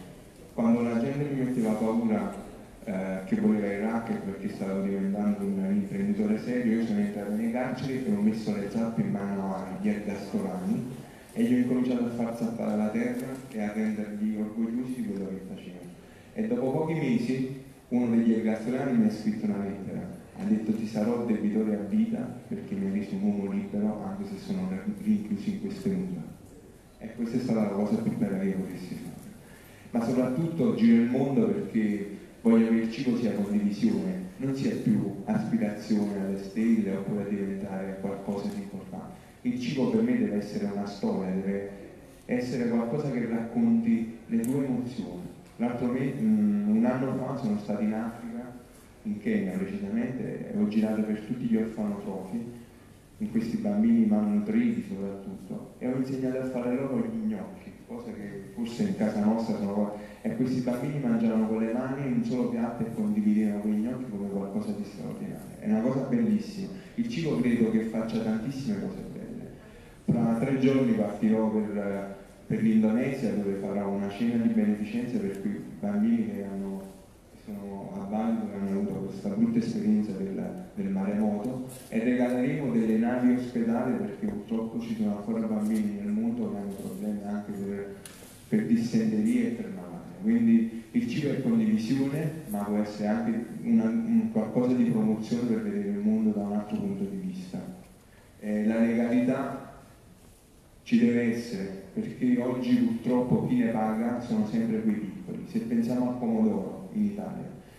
Quanti produttori di pomodoro ci sono? Ma quasi sempre chi è dietro al pomodoro vero non si vede mai. Ci sono tanti piccoli contadini che devono fare compromessi per vendere i loro pomodori. Noi non li vediamo, vediamo solamente il marchio. Noi dobbiamo iniziare a guardare dietro al pomodoro cosa c'è realmente. E allora sì che dobbiamo soprattutto sostenere quelle piccole aziende, quelle piccole aziende che ne fanno qualcosa di importante perché ormai il pomodoro è tutto pomodoro, ma esiste pomodoro e pomodoro. E soprattutto da dove vengo, una terra che del pomodoro ne ha fatto veramente qualcosa di importante, sta scomparendo. Stanno ormai poche famiglie ancora coltivano i pomodori perché coltivare il pomodoro per 40 centesimi eh, per i figli non è qualcosa di importante. Dopo ci sono aziende che lo vendono 100 volte in più. Quindi se vogliamo qualcosa di realmente legale dobbiamo sostenere questa gente, dobbiamo fare in modo che possano avere l'orgoglio di continuare su quella strada, perché credo che il cibo è l'unica cosa che è rimasta e che potrebbe essere un grande volano per l'Italia, e anche i cuochi. Però dobbiamo ritornare un po' indietro e rimettere, come dicevo prima, la dignità vera dentro, perché la dignità può far cambiare il mondo.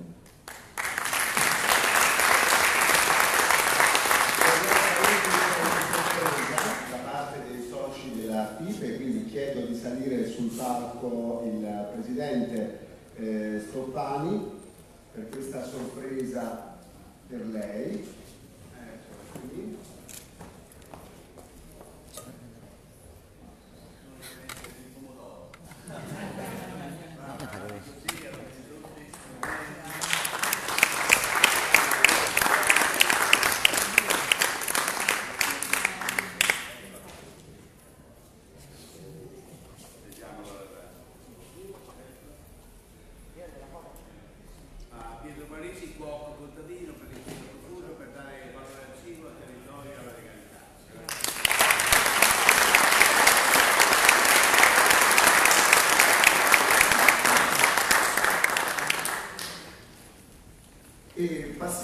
Adesso al, al, perché il cibo è così strettamente connesso con la spiritualità. Ce lo spiega il gesuita Jean-Paul Hernandez che ci parla proprio, di, ci parla proprio del cibo e spiritualità. Grazie per questa occasione di ascoltarvi prima di tutto. E se è vero che la spiritualità dice l'intimo dell'umano e delle culture, ehm, la spiritualità mette nel centro questa attività umana, fondamentalmente umanizzante, che è il cibarsi. Io mi occupo di, di storia delle religioni, di antropologia delle religioni e vi posso dire che nei miei corsi l'alimentazione, il cibo, è uno degli elementi principali perché rivela una religione, rivela l'immagine dell'uomo che quella cultura, quella tradizione religiosa dona. Fate caso che per esempio nella nostra tradizione cristiana Gesù di Nazareth, o quel rabbi di Nazareth che noi chiamiamo Gesù, ha fatto le cose principali a tavola. Le cose principali a tavola. Tra l'altro, i testi che abbiamo, i Vangeli, ci dicono che sia nato in un luogo che si chiama Bethlehem, in ebraico significa la casa del pane. Tra l'altro i racconti della sua infanzia ci dicono che sia stata, stato deposto in una mangiatoia. E il testo insiste tre volte senza necessità e fu deposto in una mangiatoia. E lo troverete in una mangiatoia. E lo trovarono in una mangiatoia. Perché? perché tocca una corda profondissima dell'essere umano cioè incontrare Dio nell'attività umana e umanizzante che il mangiare. Gli antropologi e i psicologi ci dicono che il mangiare è la prima grande trasgressione. Trasgressione di che cosa? Di quel confine del nostro corpo, che è la pelle. Perché tu introietti qualcosa che non sei tu. Tu attraversi un confine vietato. E questa trasgressione è paragonabile soltanto a poche altre trasgressioni. E come le altre trasgressioni del nostro confine che è la pelle è subito coperta di una sacralità, di un tabù, di un significato misterioso, come quell'altra trasgressione della pelle, del, del confine pelle, che è la relazione sessuale, che è il defecare, sono atti che sono tabù e al tempo stesso sacri nelle grandi tradizioni dell'umanità. Allora non è un caso se le grandi religioni si sono interessate tantissimo al mangiare, perché rivelano l'uomo e sono il momento anche della relazione. Mi fermo su tre punti. Il primo, eh, quando si mangia sto riconoscendo che non sono autosufficiente. Cioè mangiare significa riconoscere che ricevo la vita da fuori da me. Solo un Dio non ha bisogno di altro. Mangiare significa che io ho bisogno di altro, che io non sono tutto, che ricevo la vita da qualcos'altro, da fuori. Perciò avete fatto caso quando state mangiando da soli, magari a tavola, e che viene qualcuno camminando e vi guarda mangiare e vi saluta. Ciao! E ti guarda mangiare. Non vi sentite un po' imbarazzati? Eh? E che cosa dite spesso? Voi? Vuoi, vuoi provare, vuoi assaggiare? Ma lo dite perché siete generosi? Forse, ma lo dite anche per non essere soli cioè a mostrarvi con questo bisogno di avere qualcosa da fuori da voi che vi dà la vita. E allora l'altro vi può rispondere no, no, grazie, no, come, come chi dice io non ho questi bisogni così bassi come il mangiare, no? Si presenta come un Dio. E allora tu stai male e finisci subito. No, no, ma ho già finito, sai, era uno spuntino. E invece mangiare con un altro in tutte le culture è confessarsi a vicenda questo essere limitato, questo non essere autosufficiente. In realtà eh, gli antropologi analizzano il mangiare in comune come una confessione reciproca. Io ti confesso il mio bisogno più, più ancestrale, più vitale, fin dal primo tocco delle mie labbra con, con il seno della mamma appena quando ero neonato, il bisogno di mangiare, te lo confesso. Ti confesso che, ti confesso una cosa, non sono Dio. Questo è mangiare insieme. Confessarsi a vicenda che non, non siamo tutto, che non siamo autosufficienti, ma questa confessione reciproca diventa un piacere. Questa è la magia del mangiare insieme, un piacere, un'emozione. Cioè che cos'è il mangiare insieme? È la trasfigurazione del mio limite, dell'essere limitato, in una festa, in un piacere, è la celebrazione del mio limite. Perciò tutte le culture religiose hanno fatto del mangiare insieme il luogo dell'espressione del sacro. Più velocemente gli altri due punti. Se mangio, come dicono gli antropologi, è che ho ucciso. Questo non ci piace. Eh? C'è un grande antropologo che dice homo mechanis, eh? l'uomo che uccide. Anche se sono vegetariano, eh? ho interrotto un ciclo vitale. Eh, nel 1944, quando inizia eh, la scuola del veganesimo, e aveva questo come sogno all'origine, eliminare la violenza dal mangiare. Ma è possibile. Tu comunque quando mangi è che qualche vita si è spezzato per te. Dunque mangiare è rendersi conto che continuamente si dà la vita per te. La natura, la creazione, è continuamente un dono di vite che si spezzano per te. Vedete che siamo molto vicini a quello che il Vangelo racconta su Gesù Cristo, sulla vita di Gesù Cristo. Il mio corpo dato per voi è un po' la sintesi, se volete il simbolo di tutto quello che è già la creazione, è già la natura, con la sua storia, come è stato detto prima, con le sue emozioni. È un racconto che si dona a te. Terzo punto, l'invenzione del cuoco, cioè l'invenzione del fuoco. Eh, Claude Levi-Strauss, questo grande antropologo, eh, fa coincidere l'inizio della cultura con la domesticazione del fuoco e dunque la cucina, il cucinare.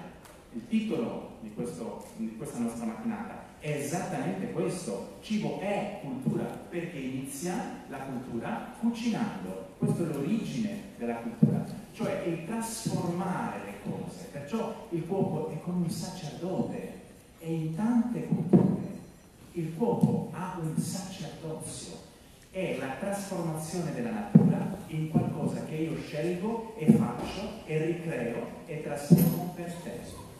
Ma allora, se io mangio ciò che è stato cucinato, io mangio anche l'idea no? del cuoco, la creatività del cuoco, il tempo del cuoco, cioè la vita del cuoco.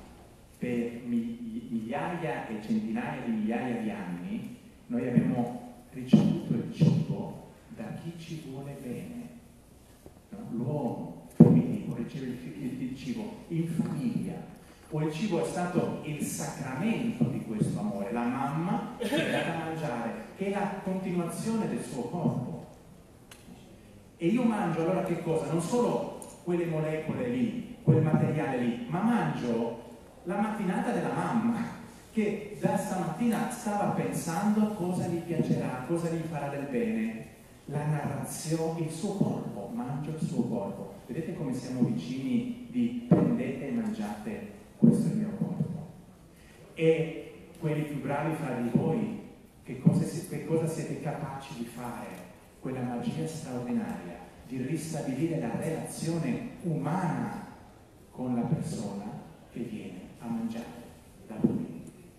E quello che tu mangi, e quello che tu dai, e il mangiare allora è il piacere di questa relazione, è il sacramento di questa relazione.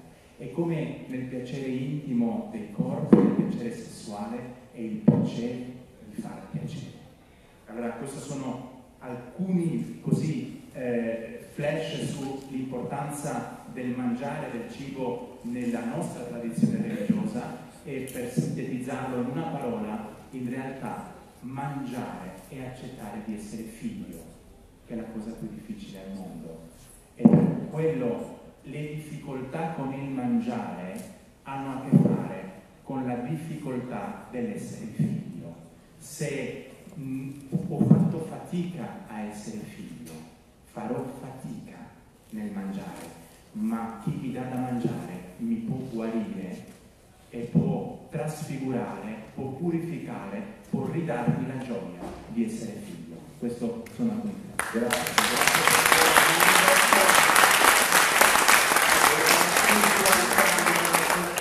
Il rapporto che la letteratura eh, ha invece eh, intesse proprio con il cibo è senza luogo e senza tempo. Il cibo è la storia dei popoli, lo specchio di un'epoca in cui si vive e proprio per questo non può essere estraneo alla letteratura. Ce ne parla Gino Ruozzi dell'Università di Bologna.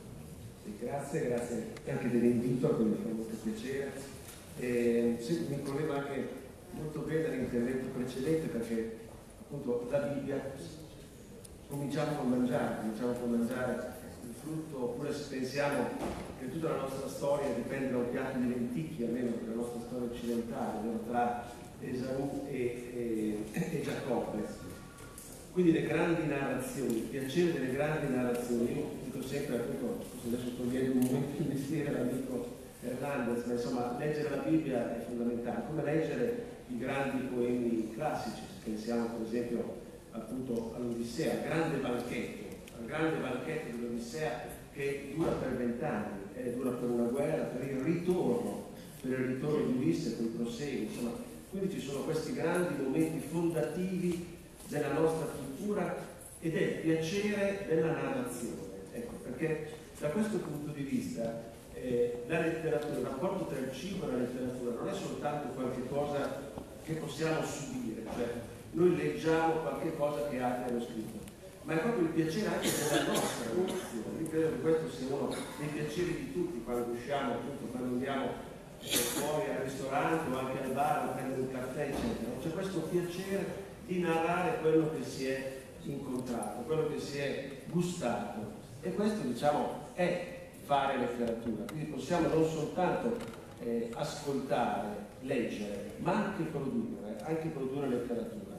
E qui secondo me, per quanto riguarda proprio la letteratura e il cibo, ci sono come due grandi, eh, due grandi modalità. Uno, eh, la prima modalità è quella che noi leggiamo, leggiamo nei romanzi, nella poesia, cioè nei libri appunto, quando si parla di, cibo. Prendiamo per esempio Manzoni. Eh, Manzoni, se voi ci pensate appunto nei promessi sposi, per esempio il pane, proprio tornando al pane, il pane ha un'importanza fondamentale, un'importanza fondamentale per esempio per padre Cristoforo, sto dicendo cose che tutti in qualche modo abbiamo incontrato e abbiamo letto.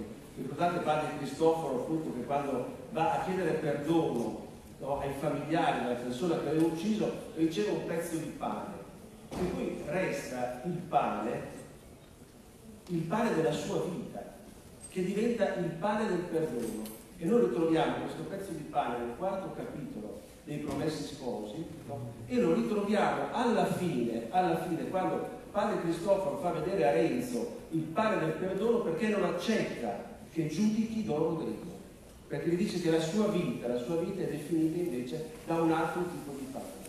Oppure il pane della rivoluzione, pensate appunto alla rivolta di Milano, il forno delle grucce, no? anche quello è il pane, perché poi c'è questa grande capacità naturalmente di Manzoni di essere legato alla vita delle persone come alla vita della società. E lì appunto ora ci racconta attraverso questo, eh, questo cibo, questo cibo eh, di tutti, ecco, perché il cibo è il cibo di tutti, il pane, ci racconta appunto la storia, ci racconta la storia delle persone come la storia dei popoli e delle, e delle città.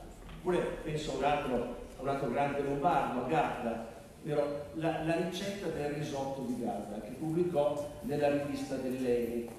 Eh, e allora qui diciamo due cose. Uno sono i cibi che troviamo all'interno dei romanzi, all'interno delle poesie, all'interno appunto di eh, generi letterari. E l'altro è invece il cibo che può diventare genere letterario. Cioè il libro di ricette, la ricetta. La ricetta è un genere letterario, è un grandissimo genere letterario. Certamente direi che forse la più bella ricetta della, della cultura italiana del Novecento è proprio quella di Garda, quella dedicata al risotto, al risotto italiano, dove se andate a leggere appunto c'è dentro, dentro tutto, c'è dentro il, il, piacere delle qualità di riso, il valore nano, per esempio, no? cioè, va proprio nel, nel dettaglio. Il piacere delle, delle, pentole, delle pentole di rame, che erano quelle che c'erano al tempo, dopo dice, beh, oggi ci sono quelle di alluminio, del burro, del burro che deve essere quello di Soresina, cioè del burro che naturalmente rappresenta un luogo, uno dei tanti luoghi, prima appunto si è parlato dei luoghi, Parigi ha parlato dei luoghi, de, della, della, nostra eredità che prendiamo appunto dai luoghi. E Gatta in questa ricetta che se non avete presente vi inviterei a leggere, si trova molto comodamente anche su internet, appunto ci racconta tante cose che lui scrive negli anni 50 e che fanno parte di una cultura che è ritornata molto prepotente anche in questi anni.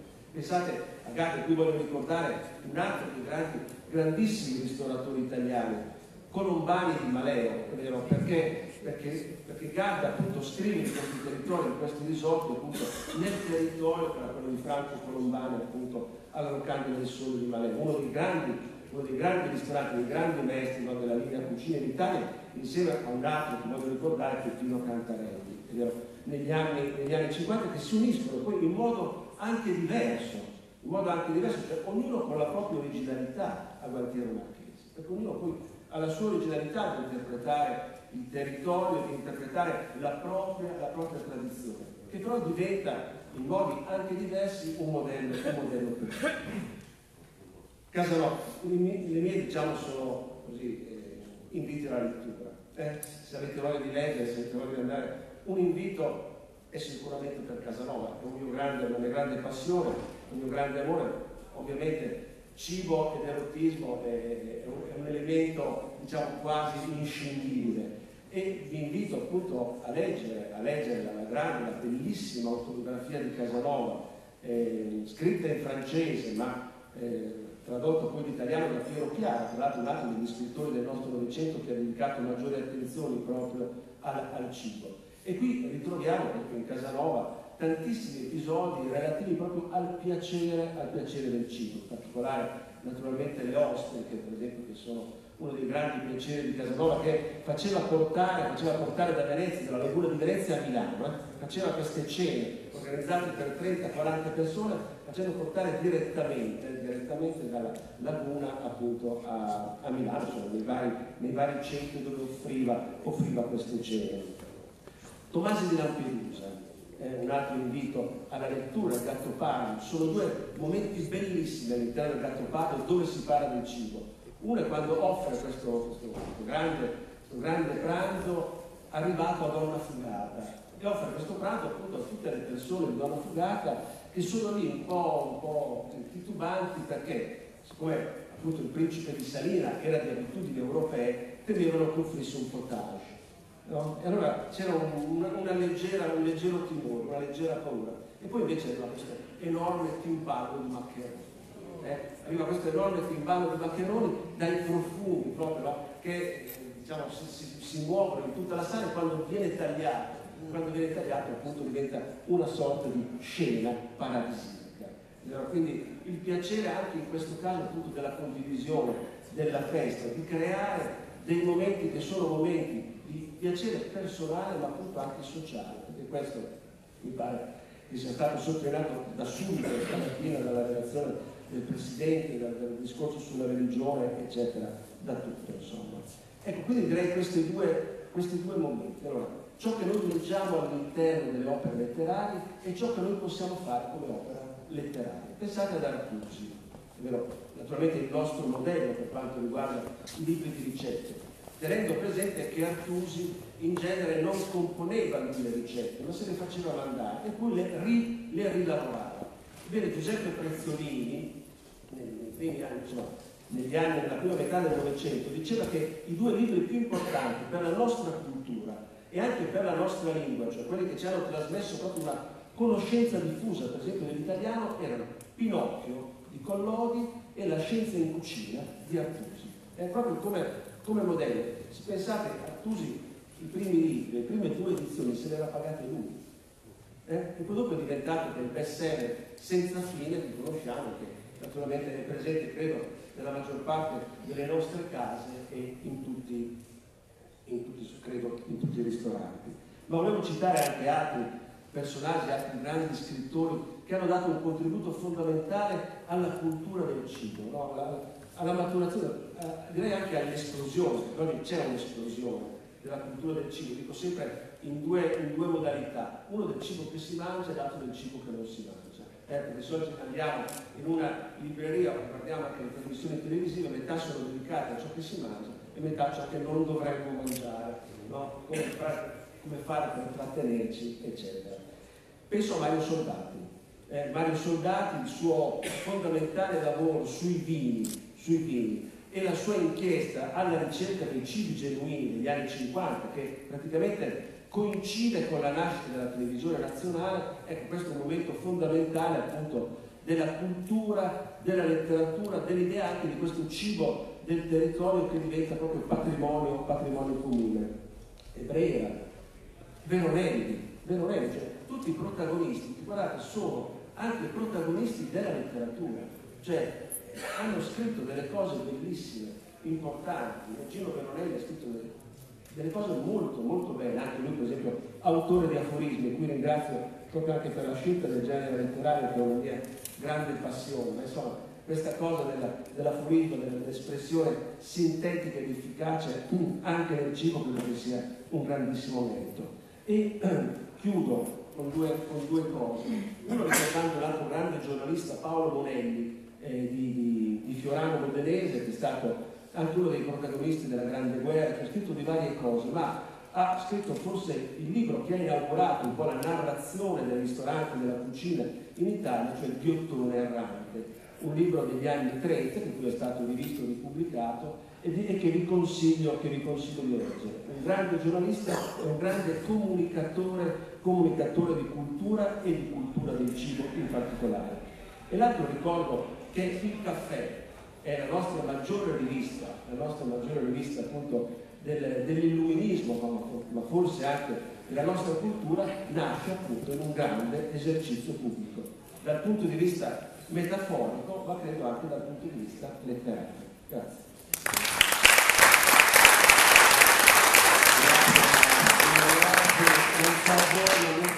un po' di appetito e una voi per di Ruozzi, da buon bolognese, eh, ovviamente è molto assertivo. Eh, eh, ogni giorno siamo bombardati da messaggi comunicativi, c'è una vera e propria overdose qui di cucina, di cibo, eh, radio, addirittura in radio ormai, no? dappertutto c'è qualcosa di cucina. Eh, che poi il cibo già di per sé è eh, emozionante, te che è diventato storytelling, eh, cioè occasione per raccontare delle storie, come per esempio la sua origine e il suo legame con il territorio. Ma a proposito di comunicazione, ne parla come sul cibo Angela Frenda del Corriere della Sera. Ma eh, sì, quando mi avete invitato eh, mi è stato detto venga a parlare di cos'è comunicare il cibo. Io ho dovuto ragionarci un po' perché aggiungerei che cos'è comunicare il cibo in Italia. Partiamo da questo principio. Io mi trovo, raramente mi trovo d'accordo con i politici Oggi devo dire l'intervento del ministro mi ha abbastanza colpito, che ha detto un paio di parole, traggo un po' di spunti, poi li condivido con voi. Intanto ha detto, siamo in Italia, abbiamo la maggioranza dei prodotti, delle cose. Cioè, anche io quando ho cominciato cinque anni fa a mettere in piedi, perché il Corriere della Sera, il primo giornale in Italia, ha aperto la redazione cinque anni fa dedicata al cibo. Questo è molto indicativo di quello che vi sto per dire. Quando ho iniziato a mettere in piedi questa struttura, mi sono resa conto che il cibo per noi era una roba scontata. Noi siamo italiani, ci abbiamo tutto. E vabbè, ma che devi raccontare? Le ricette? Ma io lo faccio meglio di te, lo fai meglio di me, cioè, cioè, ma cos'è? Cos'è raccontare una ricetta? La posso fare io, lo puoi fare tu, lo puoi fare lei. E no. Perché raccontare il cibo, e penso che abbiamo avuto esempi in uso, poi avremo Filippo D'Amelio che ve lo dirà ancora meglio di me, per raccontare la vita in tutti i suoi aspetti. Perché? Se io vi faccio fare un gioco, hm? adesso voi chiudete gli occhi e penso a una ricetta che è la mia ricetta preferita, ce l'avete sicuro, ciascuno di voi. La seconda domanda è, che ricordo vi evoca quella ricetta? Le ricette non sono mi danno uno spaghetto al pomodoro, quello spaghetto al pomodoro ve lo sarete mangiato con una persona cara, con una persona che odiavate, in un momento difficile, quando è morto qualcuno. Cioè il cibo è memoria, il cibo è noi, sono pezzi della nostra vita. Ok. Quando cinque anni fa abbiamo detto con l'allora direttore del Botto, vabbè, apriamo finalmente, io, una redazione cibo al Corriere della Sera, io ero un'inviata di politica. Voi dite perché? Non lo so, era nell'esse storica.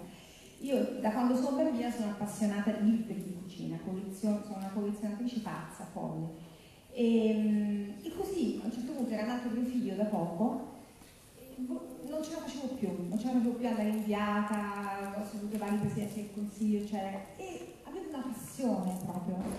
E, e di volte dice, ma perché non ci pensi? Poi sono tornata a casa quella sera, ed era verità, e io allora seguivo il PD, mi ricordo, siamo appena state le primarie. Renzi e Bersani. E, e, sono tornata a casa e, ed ero disperata perché era da un lato volevo farlo, no? A raccontare finalmente quello che mi piaceva, e 15 anni, ho fatto la scuola di giornalismo, insomma ci sono arrivata con fatica. E mio marito mi prese per mano, mi portò davanti al comodino e mi disse, vabbè, adesso tu guarda i libri che hai sul tuo comodino. E io dissi, sì, dimmi quanti libri di politica ci sono? E mi disse, nessuno. Quanti libri di cucina hai? Tutti. Disse, beh, forse hai l'occasione di fare quello che ti piace. E quindi mi sono lanciata in questa roba e ho scoperto subito che era considerata una roba folle, perché in Italia, almeno quando ho cominciato io 5 anni fa, scrivere il cibo era una cosa cheap. Quindi io ho ricevuto messaggi di colleghi illustri, uno ci siamo confrontati Aldo Cazzulo che mi scrisse e mi disse tu sei pazza, tu sei una pazza, tu sei 15 anni, per inviare di politica per una donna è una roba anche molto... Perché? Perché ti metti a scrivere di cibo? Che schifezza è? Perché vuoi raccontare i ristoranti? Ma che è? Ma sei pazzo? Ma ovviava come un pazzo, quella telefonata non me la dimentico. E così via. Questo ve lo sto raccontando non per dirvi fatti miei, ma per dirvi qual era la situazione della comunicazione del cibo in Italia, mm? nel principale quotidiano italiano. Quindi io mi sono messa testardamente ad un suo computer, ero da sola, eccetera, eccetera, ho iniziato a costruire questa roba e non ci credeva nessuno. Cioè. Ma ok, adesso il nostro penso sia il settore più redditizio del Corriere della Sera. Mm? Abbiamo una redazione, siamo usciti da tre mesi con un mensile, si chiama Cook, a cui io voglio molto bene perché è un po' il figlio di tutto questo, e, e vi dico che scrivere di cibo è molto complicato in Italia, un po' perché tutti pensano di essere critici gastronomici, no? come ristoratori, come diceva il ministro, albergatori, giornali, no, chiunque può fare tutto. Poi anche perché, qui non mi, non mi ha ammazzato, non so, ci sono in sala, eccetera, eccetera, però anche perché i social network, secondo me, sono in parte, non in tutto, anche io li uso, un piccolo disastro. Mm? Sono un piccolo disastro soprattutto per voi, soprattutto per voi. Mm? Per esempio, noi non facciamo recensioni di ristoranti sul Corriere della Sera, ho preso questa decisione, folle forse. Eh, prima di me c'era un collega che ogni tanto, ma come funzionava la recensione dei ristoranti? Mi ammazzeranno dopo questo intervento. Funzionava che di solito c'è andavi a mangiare, non pagavi quasi mai, no? E ne scrivevi, come scrivevi di questo ristorante? Benissimo, benissimo, ok. Peccato che non, è, non, si fa così una recensione di un ristorante. Il New York Times ci va almeno tre volte in anonimato pagando. Io non me lo posso permettere di mandare tre volte una persona in anonimato pagando, allora non li faccio. Preferisco fare perché ho grande rispetto del vostro lavoro. E stroncare un ristorante, mh, magari mi fa andare sui social network e faccio un po' di click, però quanto lavoro c'è dietro un ristorante? Non ve lo dico, ehm, vengo da una discussione la settimana scorsa su questo tema, quindi sono molto calda su questa roba in, in, redazione. Cioè io credo che le cose vadano fatte bene, mh? da parte nostra e da parte vostra. E quindi anche le recensioni in Italia devono essere fatte bene, con serietà, quindi aiutateci però, mh? non assecondate quello che viene, dice ah io ti faccio una bella recensione su, su... No, no, no, fate parlare la qualità, quando voi farete parlare la qualità che è altissima, in Italia si mangia benissimo,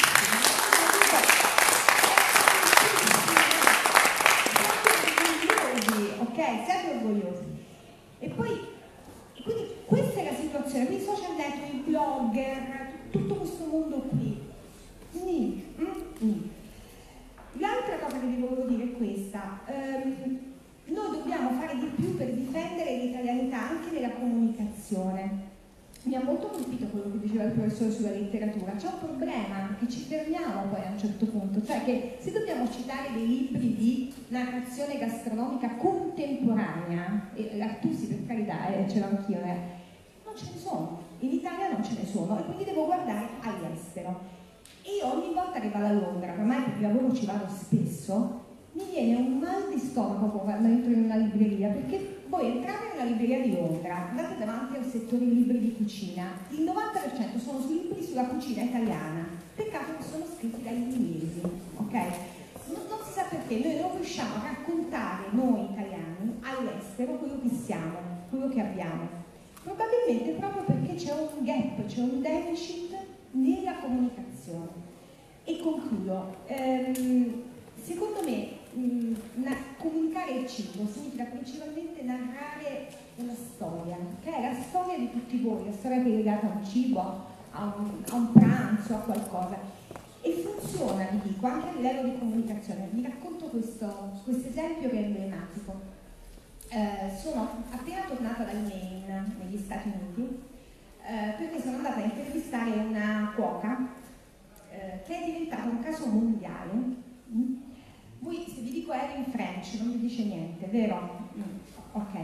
Eh, ne, ha scritto, ne hanno scritto tutti i giornali americani, ne ha scritto il New York Times, la CNN l'ha intervistata, perché? Perché questa signora, dopo un matrimonio con una persona molto violenta che la, picchiava, eccetera, è ritornata nel suo paesino, che si chiama Freedom, sono 700 persone nel Maine, e ha detto io cosa faccio per ritrovare me stessa? Si è messa a cucinare in un mulino del 300 su un fiume a Freedom. Eh, non c'è nessuno, ci sono gli scoiattoli. Lei inizia a cucinare, ma inizia a usare un po' come Pietro raccontava, cioè il cibo del territorio, raccontando se stessa, quella che era la storia della sua famiglia, quindi il piatto di quando era bambina, la mamma, eccetera, eccetera. E la gente inizia a arrivare, sapete come il pifferaio magico, da tutti i paesini, e poi sempre di più, e poi sempre di più, e poi sempre di più. Non dà telefono a Freedom, quindi si può cartolina postale. Giuro che è così, giuro. Tra l'altro è molto carina lei, molto bella. E, diventa un caso mondiale. Lei è prenotata per i prossimi 5 anni, fully book. Io sono, mi sono fatta un viaggio della miseria, mi sono presa anche una, un virus eh, influenzale, sono arrivata lì e non aveva il tavolo. L'ho guardato e ho detto, ma almeno, cioè ti vengono a intervistare, almeno fammi sedere, mi ha messo una sedia. Perché è prenotata per sempre. Perché? Perché lei è una cosa impressionante. Poi devi mandare questa cartolina postale. Perché ve la dico questa storia che racconteremo su Cook a dicembre? Perché lei ha tirato fuori la storia. Cioè lei ha. Cos'è che funziona nella comunicazione del cibo? La narrazione. Raccontatevi, raccontatevi quello che c'è dentro il vostro ristorante, quello che c'è dentro il vostro cibo. Perché è l'unica cosa che resta nelle persone è la migliore arma di marketing che avete, siete voi stessi. Grazie.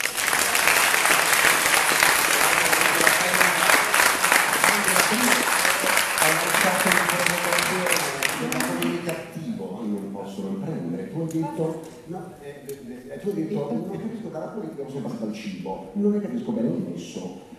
E Lezione ti avrebbe risposto sempre di maniera serrata. Eh, no, ma forse è alta però il cibo. E